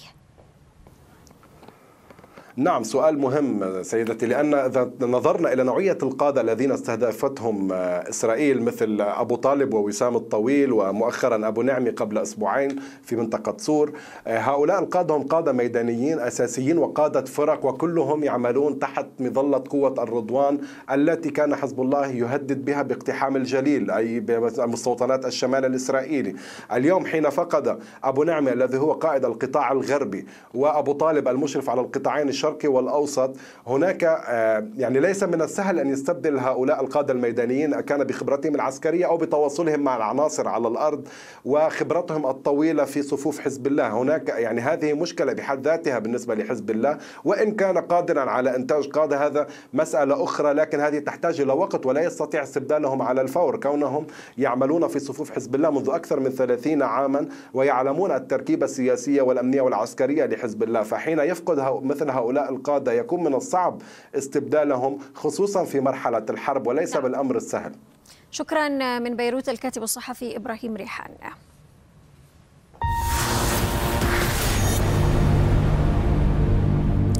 مشاهدينا استوديو الحدث مستمر وفيه أيضا. في خطوة مفاجئة حمتي يعزل مستشاره السياسي يوسف إبراهيم عزت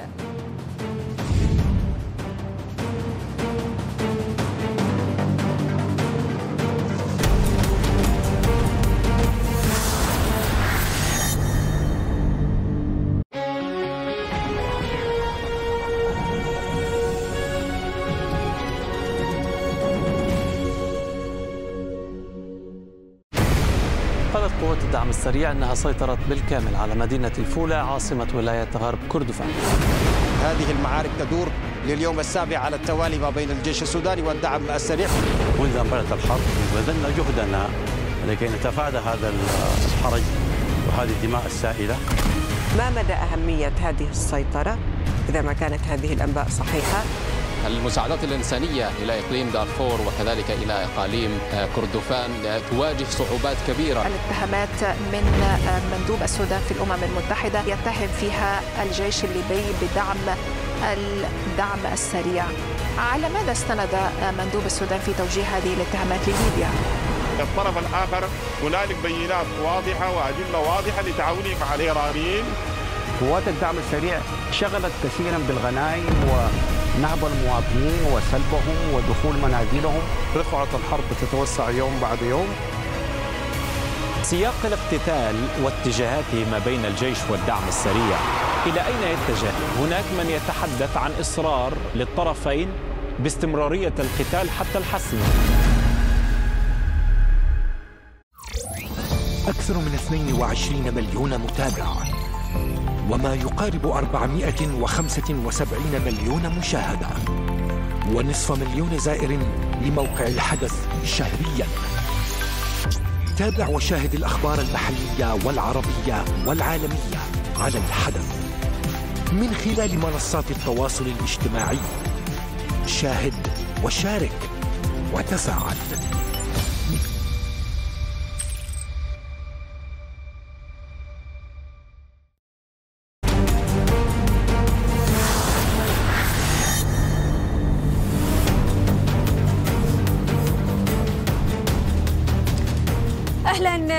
من جديد. في خطوة غير متوقعة أصدر قائد قوات الدعم السريع في السودان محمد حمدان دقلو حمتي قرارا بعزل مستشاره السياسي يوسف إبراهيم عزت.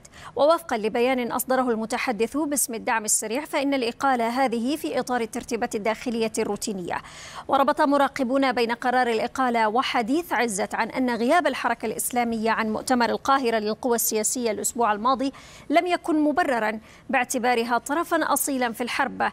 وعمل عزت مستشارا سياسيا لحمتي منذ بداية عام 2021 وأصبح المتحدث الأول باسم الدعم السريع منذ اندلاع القتال مع الجيش السوداني منتصف إبريل 2023 قرر مجلس السلم والأمن الإفريقي تشكيل لجنة من رؤساء دول إفريقية للتوصل مع قائد الجيش السوداني عبد الفتاح البرهان وقائد قوات الدعم السريع محمد حمدان دقلو للوقف الفوري للحرب دون شروط.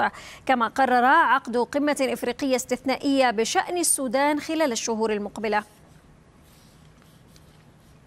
في كلمته أمام المشاركين في الاجتماع التحضيري للحوار السياسي السوداني طالب مفوض الشؤون السياسية للسلم والأمن التابع للاتحاد الإفريقي. طالب جميع أصحاب المصلحة والأطراف السودانية المشاركة في الحوار السياسي السوداني مؤكدا أنه لا يوجد حل عسكري للأزمة السودانية مشددا على ضرورة العمل لحل الأزمة الإنسانية المتفاقمة. كما أكد المفوض الإفريقي على ضرورة الوقف الفوري وغير المشروط للقتال في السودان. داعيا إلى تكثيف العمل قبل توسع رقعة القتال إلى دول الجوار.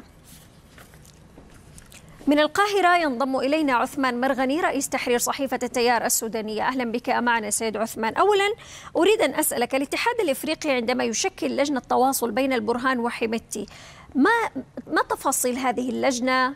من هم أعضاؤها؟ كيف سيتم التعاطي مع الطرفين من خلالها؟ نعم يعني هذا الأمر هو ليس بجديد. كانت هناك مبادرة سابقة من الإيجاد بالجمع للجمع بين الرجلين وأجريت أو كانت هناك محاولتان فشلتا في الجمع بينهما. ثم بعد ذلك تكونت لجنة أخرى كانت برئاسة رئيس جمهورية يوغندا موسيفيني وكان أيضا مطلوب منها جمع الرجلين. وأجريت أكثر من محاولة في هذا الإطار وواضح تماما أن هذه أن هذا الأمر أصبح مجرد ربما هي مبادرة غير مرتبطة بأي إجراءات أو بأي بنود محددة يمكن أن تفضي إلى حل كانما هي ختام مباحثات يمكن أن تجرى على مستوى أدنى ثم بعد ذلك تستكمل على المستوى الأعلى بين الجيش وبين قوات الدعم السريع. في تقديرها الآن هي الجهود الجهود الآن تصب كلها في اتجاه الرجوع مرة أخرى إلى منبر جدة وليس فقط اللقاء بين الرجلين باعتبار أن اللقاء بين الرجلين هو يمكن أن يكون نهاية المطاف بعد أن تكون هناك مباحثات في أي من المواقع بالتحديد منبر جدة. الجهود الآن وصلت مرحلة جيدة أعتقد لأن بالزيارة الأخيرة التي قام بها رئيس وزراء إثيوبيا إلى بور السودان كان واضح تماما أنها أنها تأتي في سياق وتنسيق مع الدول المجموعة الدولية التي تحاول الآن أن تدفع بالجميع نحو التفاوض مرة أخرى عبر منبر جدة وليس عبر منبر الليغات طيب أنا فقط عندي سؤال استفهامي. يعني الآن عندما نتحدث بأنه الاتحاد الإفريقي ومنظمة الإيجاد تدعو الأطراف السياسية للتباحث والتشاور طب ما السودان خارج هذه المنظمة؟ هي أصلا المجموعات المدعوة م. لهذا الحوار كلها سودانية. يعني هي ليست هنا هنا ربما كلمة السودان غير دقيقة لأن السودان يعني السودان الرسمي الحكومة وهي أصلا مجمدة في الاتحاد الأفريقي. لكن المدعوون هم قطاعات سياسية ومجتمعية ومنظمات مجتمع مدني كلها لتضع خارطة الطريق لحوار قادم. يعني هذا هذه الاجتماعات التي تتم الآن هي ليست اجتماعات لتفضي بعد ذلك إلى حل. هي فقط للترتيب والتجهيز لجولة أخرى يمكن أن تكون أوسع بمشاركة قوى أكثر ومنظمة في محاولة الوصول إلى تفاهمات بين هذه القوى السياسية. واضح تماما من خلال هذه الاجتماعات أنها تتحدث عن ما بعد الحرب وليس عن وقف الحرب لأن المجموعات التي تشارك الآن هي تتحدث عن قضايا سياسية وأشبه بتكوين عملية سياسية جديدة تكون بعد تبدأ بعد الحرب وليس الآن محاولة لإيجاد حل لقضية الحرب باعتبار أن هناك سياق آخر ومنبر آخر هو الذي يبحث في إيقاف القتال الآن والوصول إلى نهاية للحرب ثم بعد ذلك ابتدار عملية سياسية. نعم. طيب الجلوس على طاولة المفاوضات بين البرهان وحميتي رهنه السيد البرهان بدحر قوات الدعم السريع ولكن الأرض يعني التحركات على الأرض تقول غير ذلك بأن قوات الدعم السريع هي من تتقدم بشكل كبير جدا في السودان سيطرت على عدد كبير من المناطق والولايات هل ما يتحدث عنه البرهان مطابق للواقع الذي يتفقده أمامه أم هو مجرد شعارات للحفاظ على هيبة وكيان المؤسسة العسكرية والجيش تحديدا في السودان؟ لا يعني إذا كان هو يتحدث عن دحر ال ال ال قوات الدعم السريع بصورة كاملة فاذا هنا لا داعي للحوار أصلا لأن العملية تنتهي بالضربة القاضية الفنية. ويصبح بعد ذلك هو انتصار وعلى الطرف الآخر فقط أن يستسلم سواء كان عبر اتفاق أو عبر غير اتفاق. لكن أنا في تقديري القياس بين الوضع العسكري الميداني بين الجيش وبين الدعم السريع لا يبنى ابدا على المساحات التي على الأرض التي فعلا كمساحات عدد كيلومترات مربعة هي لصالح الدعم السريع. لكن الوضع العسكري بالتأكيد الآن لصالح الجيش السوداني وأنا أعتقد أنه يزداد بصورة يومية لصالح الوضع للجيش السوداني لأسباب كثيرة. السبب الأول أن مقتضيات الحرب الآن لا ترتبط بالمساحات بقدر ما ترتبط بقدرة أي من الطرفين على الاستمرار في هذه الحرب أكثر. نعم. بالتأكيد بمقارنة الخسائر خاصة الخسائر البشرية بين الدعم السريع والجيش الجيش تقريبا خسائره لا تذكر قياسا بالدعم السريع. معنى ذلك أن لديه القدرة والنفس على إطالة عمر هذه الحرب طالما أن هناك طالما أن هناك سبب لذلك. الدعم السريع واضح تماما أنه الآن في أنفاس يلتقط أنفاسه الأخيرة بصعوبة بالغة. يعني كل استنفذ كل ما هو مطلوب. حاول استخدم كل الآليات التي متاحة له داخل السودان استجلب عناصر من خارج السودان وتوسع في الدول. كانت في البداية دولة دولتان ثلاثة دول. الآن وصل إلى أكثر من 15 دولة. استجلب منها العناصر وأصبحت هناك مشكلة أيضا مالية في تمويل هذه العمليات المرهقة. علاوه على وهذا هو النقطه النقطة الأهم. ثبت عمليا أنه كلما استولى على كيلومترات جديدة خلق لنفسه مشكلة جديدة لأن المواطنين يهربون من أي منطقة يدخل إليها. معنى ذلك أن المشروع الأساسي الذي بنيت عليه الحرب من جانب الدعم السريع فشل. إذا كان مطلوب أصلا تغييرات نعم. سياسية وتغيير في هيكل الدولة السودانية كما يقال عليها دولة 56 الآن الواقع أن المواطنون يهربون من أي مكان يدخل إليه الدعم السريع. هذا يعني فشل أهداف الحرب وإذا لا يمكن أن تستمر الحرب بدون أن يكون هناك غطاء سياسي ومبررات وحيثيات يمكن أن تسند إليها هذه الحرب. طيب ولكن هل الملاحظة هذه صحيحة؟ لأنها متداولة. كل ما يبدأ أن يكون هناك نوع من الهزيمة غير المحسوسة للدعم السريع يتدخل المجتمع الدولي لإنقاذه، يعني مثلا ما حدث في الاتحاد الإفريقي والإيجاد والدعوة. هي البعض ربطها بانها محاولة لإنقاذ ما يمكن إنقاذه لقوات الدعم السريع، هل هذه الملاحظة وهذه القراءة السريعه من البعض؟ صحيحة عذرا من البعض أم لا؟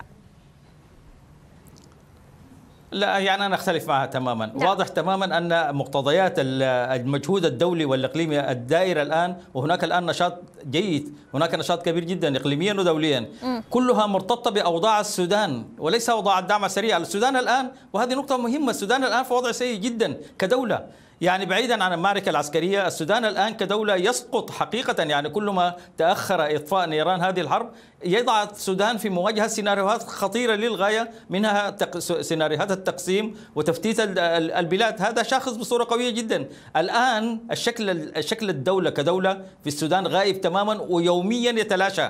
إذا هذه المجهودات تأتي في اتجاه إنقاذ السودان وليس إنقاذ قوات الدعم السريع وأنا أعتقد أن المجهودات التي تبذل الآن في الآونة الأخيرة هي فعلا مجهودات جادة جدا وهناك أفق واضح جدا وأمل كبير جدا أن تنتج من هذه نعم. المجهودات التي طيب. جاءت من عدة اتجاهات أن ينتج منها فعلا حل.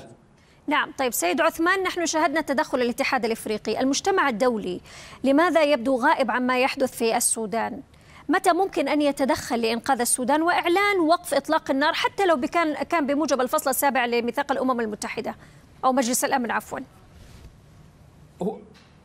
هو المجتمع الدولي الآن يتدخل عبر آلية الاتحاد الأفريقي والاتحاد الأفريقي يستخدم آليتان آلية الإيجاد وهي للأسف الشديد الآن معطوبة لأن السودان جمد عضويته في هذه الآلية ويستخدم مجلس السلم ومفوضيه السلم والأمن في داخل الاتحاد الأفريقي.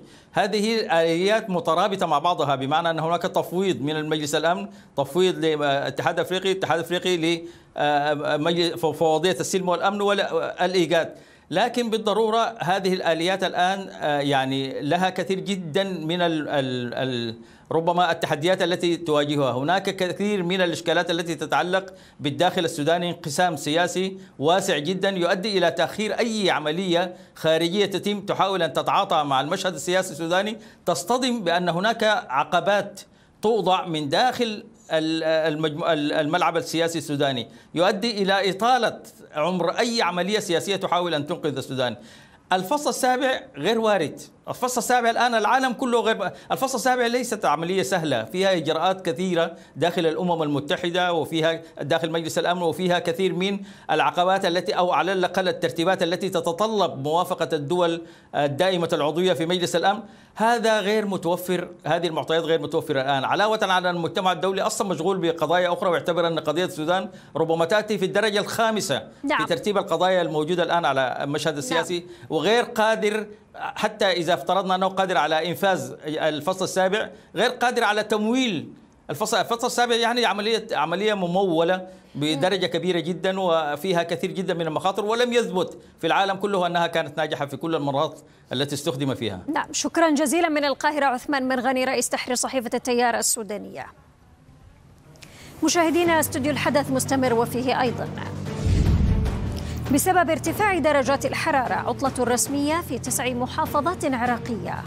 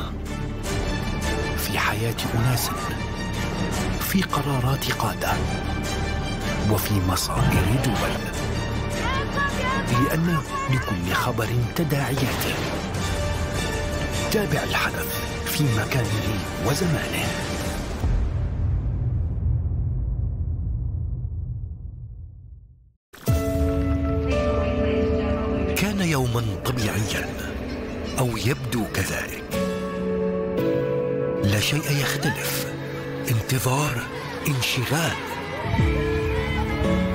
وسكون كانت لحظة تسبق الخبر بقليل. ثم يبدأ حدث يؤثر على حياة الناس. تفاصيل تختلف. قصص تتشابه. ويبقى الإنسان هو محور الحدث.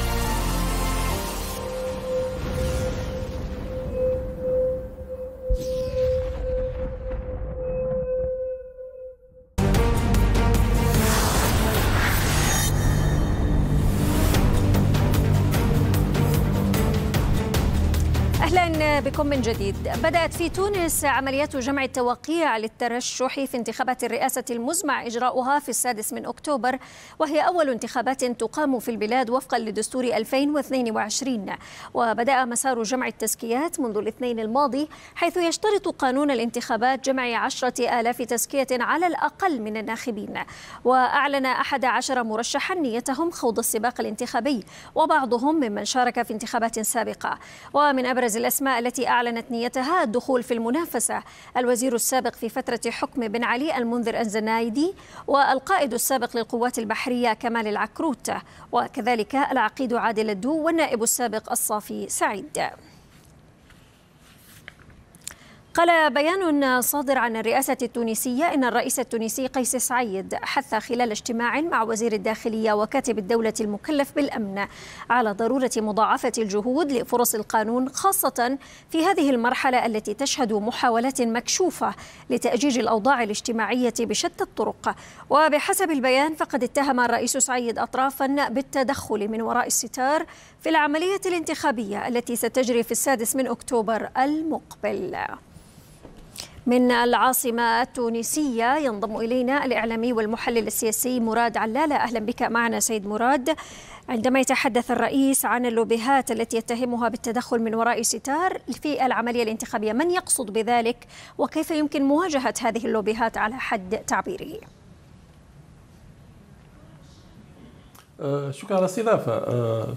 بالتأكيد ان رئيس الجمهورية الذي يشرف أو يتحمل مسؤولية المؤسستين الأمنية والعسكرية والقوات الحامله السلاح لديه في تقديم من المعطيات والمعلومات ما يكفي ليجعله يكشف أن هناك ربما مخاوف من توظيف هذا الاستحقاق الانتخابي واعتماد وسائل غير مشروعة للتأثير في مسار العملية الانتخابية.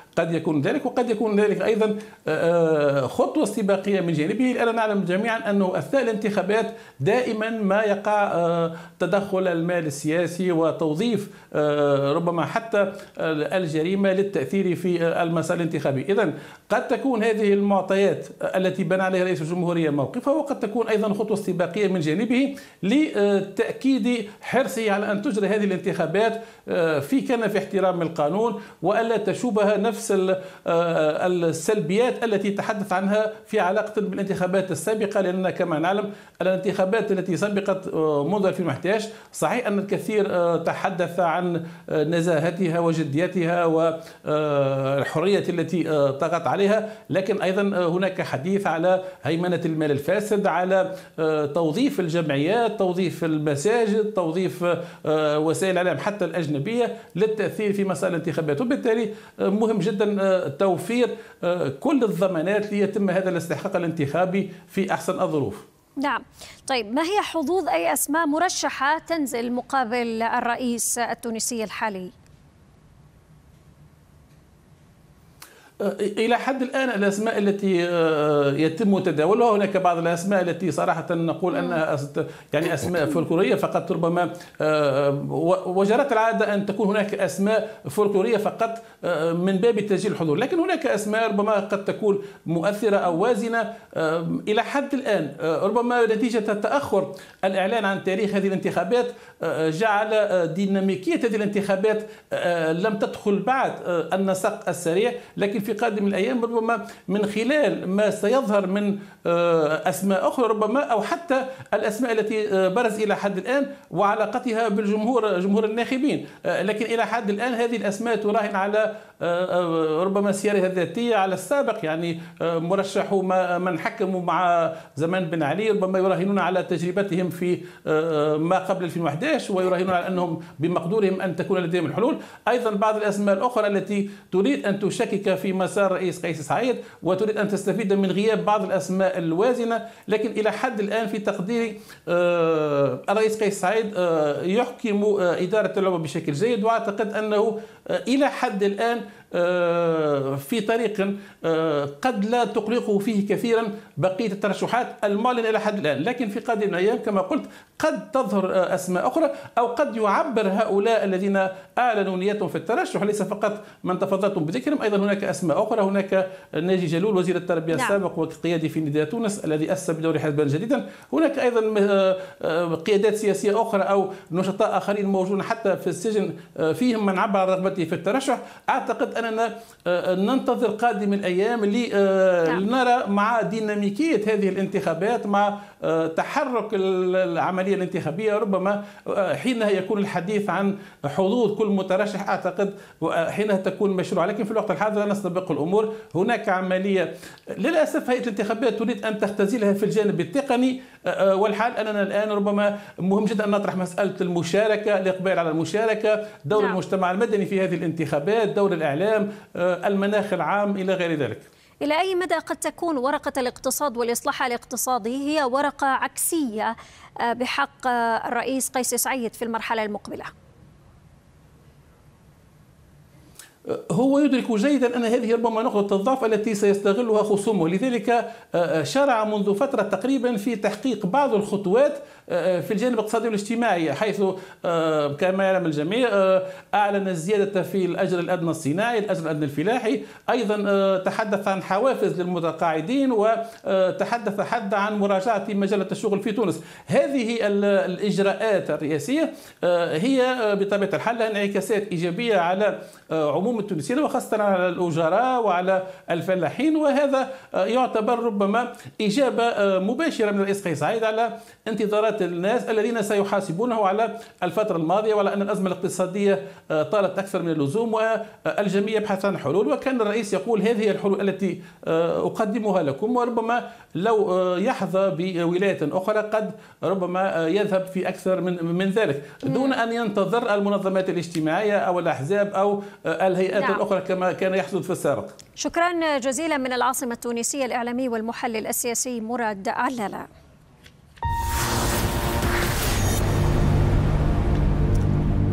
وسط لهيب الصيف تزداد معاناة في مئات المخيمات في شمال غرب سوريا مع توقف منظمات عن دعم خدمات المياه والصرف الصحي جراء تراجع التمويل. وتؤكد التقارير للأمم المتحدة أن أكثر من أربعة ملايين نازح سوري شمال غرب البلاد يفتقرون لخدمات المياه والصرف الصحي والنظافة العامة. تملأ هذه اللاجئة السورية نصف الدلو بالماء فالنصف الآخر حق مشروع للاجئة أخرى. أما هذه فتسكب على طفلها مقدارين من المياه فقط وإذا حظي بالثالث سيعتبر لاجئا مرفها وذو حظ عظيم. فهنا في مخيمات شمال غرب سوريا تزداد معاناة الملايين مع توقف المنظمات عن دعم خدمات المياه والصرف الصحي جراء تراجع التمويل. يجي صهريج المي بيعبي مرة بالأسبوع بعبي برميل بعبي طناجر بعبي بيدونات صغار. فبيقول لي إنه هو ما بيحسن يعبي غير خزان وأنا ما عندي استطاعة أجيب خزان. فكل فترة بتصير معي مشكلة لأنه ما عم أحسن أمن خزان وعبي فيه مي لأولادي. حط في البيدونات بس خلصت. عم روح لراس الشارع أحيانا نعبي بيدون وجيبه لهون مشان أشرب اولادي أو أعمل لهم شيء طب ما في مروحة تبرد فيها الأولاد؟ إذا بدك على الولد سطل المي يعني ما بتم عندك للمسة تشربها. كل أربع عائلات تتقاسم خزان مياه واحد ويؤكد نازحون ومنظمات محلية وعاملون إنسانيون أن أزمة نقص المياه في المخيمات تترافق مع تكوم النفايات وعدم معالجة الصرف الصحي. إضافة لتوقف المنظمات عن تقديم خدماتها جراء تراجع تمويل الجهات المانحة حيث يحتاج أكثر من أربعة ملايين شخص في شمال غرب البلاد إلى دعم في قطاع المياه والصرف الصحي والنظافة بحسب الأمم المتحدة. هلا عندنا خزان 10 براميل تقريبا تشارك عليه أربع عيال. عم نتجمع أنا وجيراني الأربع عيال تشارك على حقه تقريبا بال ليرة. حرمونا من السله الغذائيه والخبز وهيك والمعونات كلها ومناغ غير يحرمونا من المي و يعني بدهم يموتونا على البطيء بدهم ينهونا خالص. مخيمات نسبة الإصابة بالجرب تتجاوز نسبة 90% طبعا أسباب آه، هالإصابة هاي هي نقص آه، المياه في هذه المخيمات انتشار آه، القمامة بالشوارع طبعا عدم وجود صرف صحي نهائيا. اعتاد هؤلاء الأطفال على الاصطفاف في الطابور لانتظار المساعدات والبطانيات والأدوية. والآن يضاف الماء على قائمة طوابيرهم المنسية. هلا العلي الحدث. في العراق ومع ارتفاع درجات الحرارة ووصولها إلى معدلات قياسية قررت عدد من المحافظات بينها محافظة المثنى, المثنى وذقار وواسط ونينوى وبابل. قررت اعتبار اليوم عطلة رسمية مع توقعات بارتفاع الحرارة لتتخطى الخمسين درجة مئوية. وكذلك الأمر في محافظات البصرة وميسان والديوانية التي أعلنت جميعها عطلة رسمية اليوم الخميس تستثني الدوائر الأمنية والخدمية.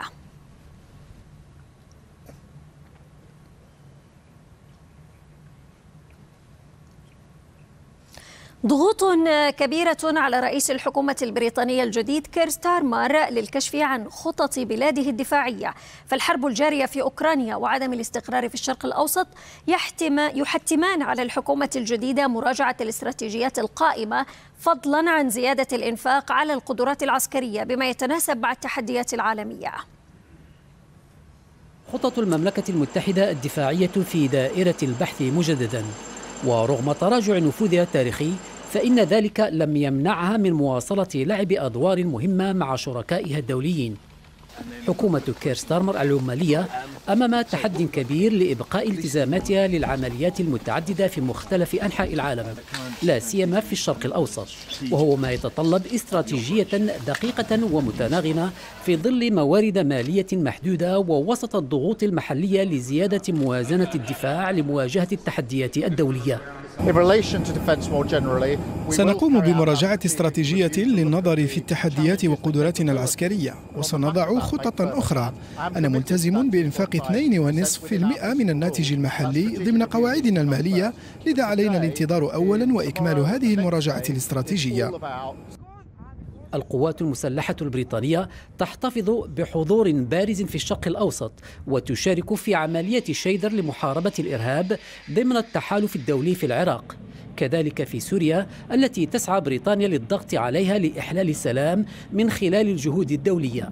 كلا البلدين تحت تأثير مباشر من طهران التي تخوض صراعا مع الغرب بشأن برنامجها النووي ودعمها للإرهاب. كما تشارك بريطانيا بالتحالف مع أمريكا في توجيه ضربات للحوثيين الذين يشنون هجمات على السفن التجارية في البحر الأحمر.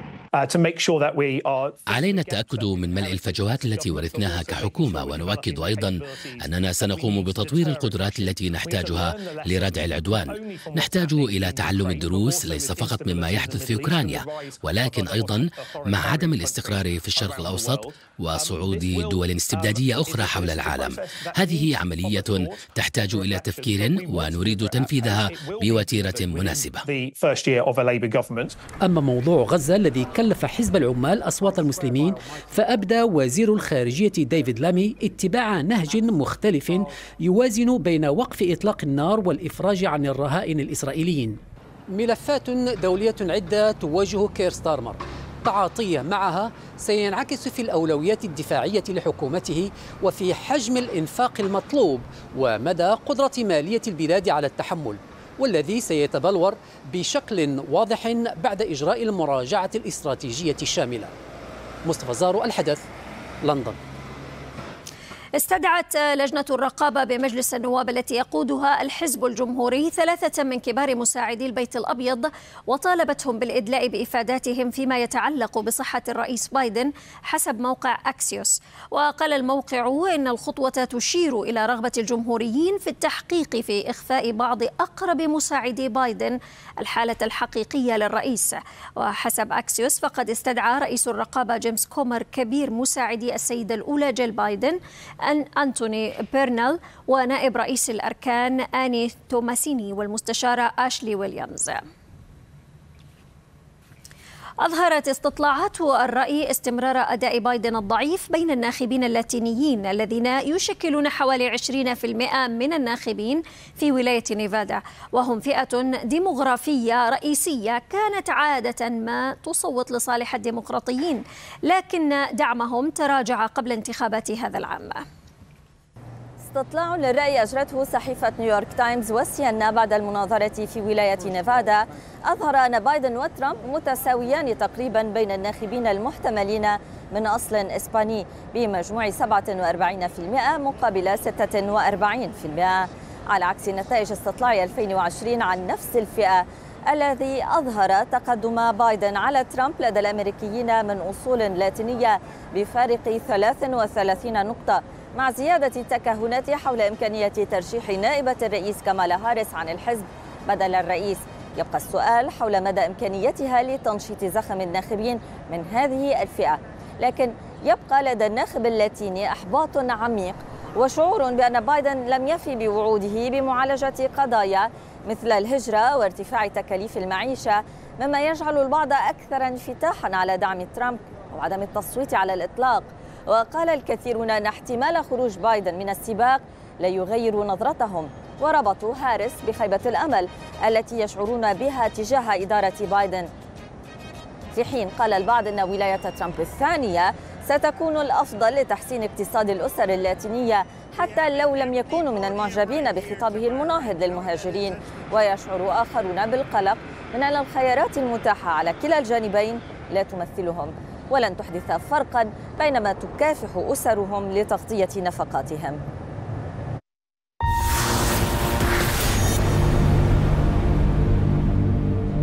مشاهدينا نعود لملف التغيرات الجوية وارتفاع الحرارة من طرابلس في لبنان. ينضم إلينا رئيس حزب البيئة العالمي والخبير في شؤون المناخ الدكتور ضومت كامل ضومت كامل. أهلا بك معنا سيد كامل. بداية نحن لا نلاحظ فقط ارتفاع درجات الحرارة في منطقة الشرق الأوسط ولكن أيضا في أوروبا الغربية ترتفع فيها درجات الحرارة. العوامل التي تؤثر في عملية هذا التغيير وكيف يمكن مقاومته من الحكومات والشعوب؟ اولا السلام عليكم ورحمة الله وبركاته. الموضوع كثير خطير. نحن عارفين الموضوع من من من فترة من ما قبل القرن الحالي. بلشنا نحكي ونطيل على الصوت العالي ونطالب بوضع استراتيجيات وجهوزية المواجهة لأنه عرفنا واصلين لهم نحن اليوم وصلنا للاحترار العالمي. بما معنى أنه مادة الحرارة صارت موجودة ضمن الهواء. ليس فقط أنه نحن عايشين ضمن كتل هوائية ساخنة ولكن محتره الاحترار خطير شيء خطير جدا. الاحترار هو ممكن يعلي درجات الحرارة بمياه البحار وبمياه المحيطات وهذا ما يحصل ضمن القطبين. ضمن القطبين نحن بلشت المياه بلشت المياه الساخنة تدخل تحت طبقات الجليد الموجودة بالقطبين ووصلت لمرحلة مرحلة ذوبان كثير خطيرة. ورايحين ومن هون بدي شدد من رايحين لأخطر من هل من اليوم بعشرات المرات. اليوم كوكب الأرض كله كوكب صار حار جدا. كوكب الكتل الهوائية الساخنة تغلبت بشكل كثير كبير على الكتل الهوائية الباردة. وهون الخطر الأكبر. والخطر الأكبر أيضا إنه نحن بعدنا عم نزيد استهلاك كميات الوقود الأحفوري يوميا. خطينا كنا عم نقول 80 أو 85 مليون برميل أو 90 وصلنا لل 100 مليون برميل. ولكن اليوم نحن هذا العام تخطينا ال 100 مليون برميل بترول استهلاك يومي. نعم. بما معنى إنه نحن عم نحرق الكوكب بإيدنا. نحن عم نعبي حرارة عالية جدا بطبقات الجو. بطبقات الكتل الهوائية. وصلنا لمرحلة الغابات ما عم ما في غابات تمتص كامل التلوث والحرارة المحيطات امتصت ما فيه الكفايه من الحرارة ومن الغازات الدفيئة وخزنت كميات ضخمة هائلة جدا من السي أو بقعار المحيطات. نحن اليوم أمام أزمة عالم أزمة مناخية عالمية كثير نتمنى أن لا ينقطع الاتصال. طيب سيد ضومت كامل نشكر لك هذه المداخلة. ربما نحاول معاودة الاتصال بك مرة أخرى إن تمكن. عاد معنا. خليك معنا. معك معك أنا بس ولكن سكرت خطوط. نحن اليوم نحن اليوم نحن اليوم أمام أزمة خطيرة عالميه طيب كيف يمكن كيف يمكن تفادي ارتفاع درجة الحرارة؟ أنت قلت أول شيء جاوبني على هذه النقطة واشرح لي واشرح للمشاهدين الارتفاع درجة الحرارة بمعدلات أعلى مما نحن عليه الآن. ماذا يعني ذلك لكوكب الأرض؟ يعني يعني بكوكب الأرض كوكب الأرض كثير كثير كثير أماكن بالعالم كثير خطيرة. يعني اليوم إذا أخذنا إذا أخذنا القطبين القطبين اللي هن يلي هن أماكن أماكن تبريد الكوكب. الثلوج الثلوج تغير تغير مسار الثلوج على سطح هذا الكوكب. أنا بعطي بعطي معلومات. مناطق بالعالم كانت الثلوج توصل لارتفاع 200 متر على سطح البحر. عام 2024 ما ما تساقطت الثلوج أقل من دون دون 1500 متر. بما معنى أنه ارتفاع الحرارة صار عندنا ارتفاع حرارة عالي جدا وصل لل 1300 متر. هذا شيء خطير جدا. يعني اليوم علماء البيئة بيشوفوا الموضوع الخطير عالميا بالتغيرات المناخية والقيادات السياسية بتشوفه بمنظار آخر. أنا بعطي معلومه إنه اليوم القيادات السياسيه قاعدين بغرف قاعدين بالقصور مدورين المكيفات طيب. مدورين المكيفات وما بيقدروا يعرفوا شيء. ولكن المواطن المواطن الموجود عم بيحترق المواطن بالشعور هذه واضحة. دكتور ضمد عشان علشان أنا أريد أن أفهم الموضوع علميا وأيضا المشاهد. أنت ذكرت على منطقة القطبين الشمالي والجنوبي ولكن إن خصصنا الحديث على الأقل لمنطقة الشرق الأوسط إلى أين ستصل درجات الحرارة في المستقبل؟ الآن نتحدث عن 50 درجة مئوية وما فوق وربما يكون مختلف ذلك في مناطق أخرى. سنصل ما الذي ممكن أن يحدث؟ يعني الطاقة الكهربائية اللي موجودة الآن هل ستتحمل هذا الارتفاع أيضا؟ هون اللي بدنا نقول إنه الطاقه الكهربائيه ما راح تقدر تكفي. اليوم اليوم اليوم نحن بحاجة ماسه وسريعة جدا. واخاطب ملوك الدول العربية واخاطب رؤساء الدول العربية. المفروض فورا امبارح امبارح كان عندنا اهم أهم مؤتمر مع 10 علماء بيئه كنا ببيروت. وكان من بينهم كان من بينهم وزير مصر وزير البيئة المصري السابق الدكتور الدكتور مصطفى كامل. نعم. رئيس رئيس مركز بازل لدول لدول شمال أفريقيا وغرب آسيا. حكينا ومعنا ملفات كثير خطيرة عن التغيرات المناخية وعن الارتفاعات الحرارية. منطقة الشرق الأوسط تشهد بكل تأكيد وبشدد بكل تأكيد ارتفاعات خطيرة جدا بدرجات الحرارة. نحن عند من من خمس سنين وقت كنا عم عم ننادي إنه نحن واصلين لهي النقطة. ما كان حدا عم يسمع لنا واليوم بدي أقول إنه نحن عم ننادي إنه رايحين لمطارح خطيرة وبكل تأكيد بدي أقول إنه ما حدا رح يسمع لنا كيف يمكن التقليل من تأثير ذا من تأثير ارتفاع درجات الحرارة أو محاولة تفاديها بعملية التشجير وبعمليات ماذا أيضا؟ اولا عمليات التسجير ثانيا عمليات استبدال استبدال الطاقة المطلوبة ثالثا الاستفادة من من الطاقات الهوائية والطاقات المائية وأيضا من الاستفادة من الطاقة الشمسية.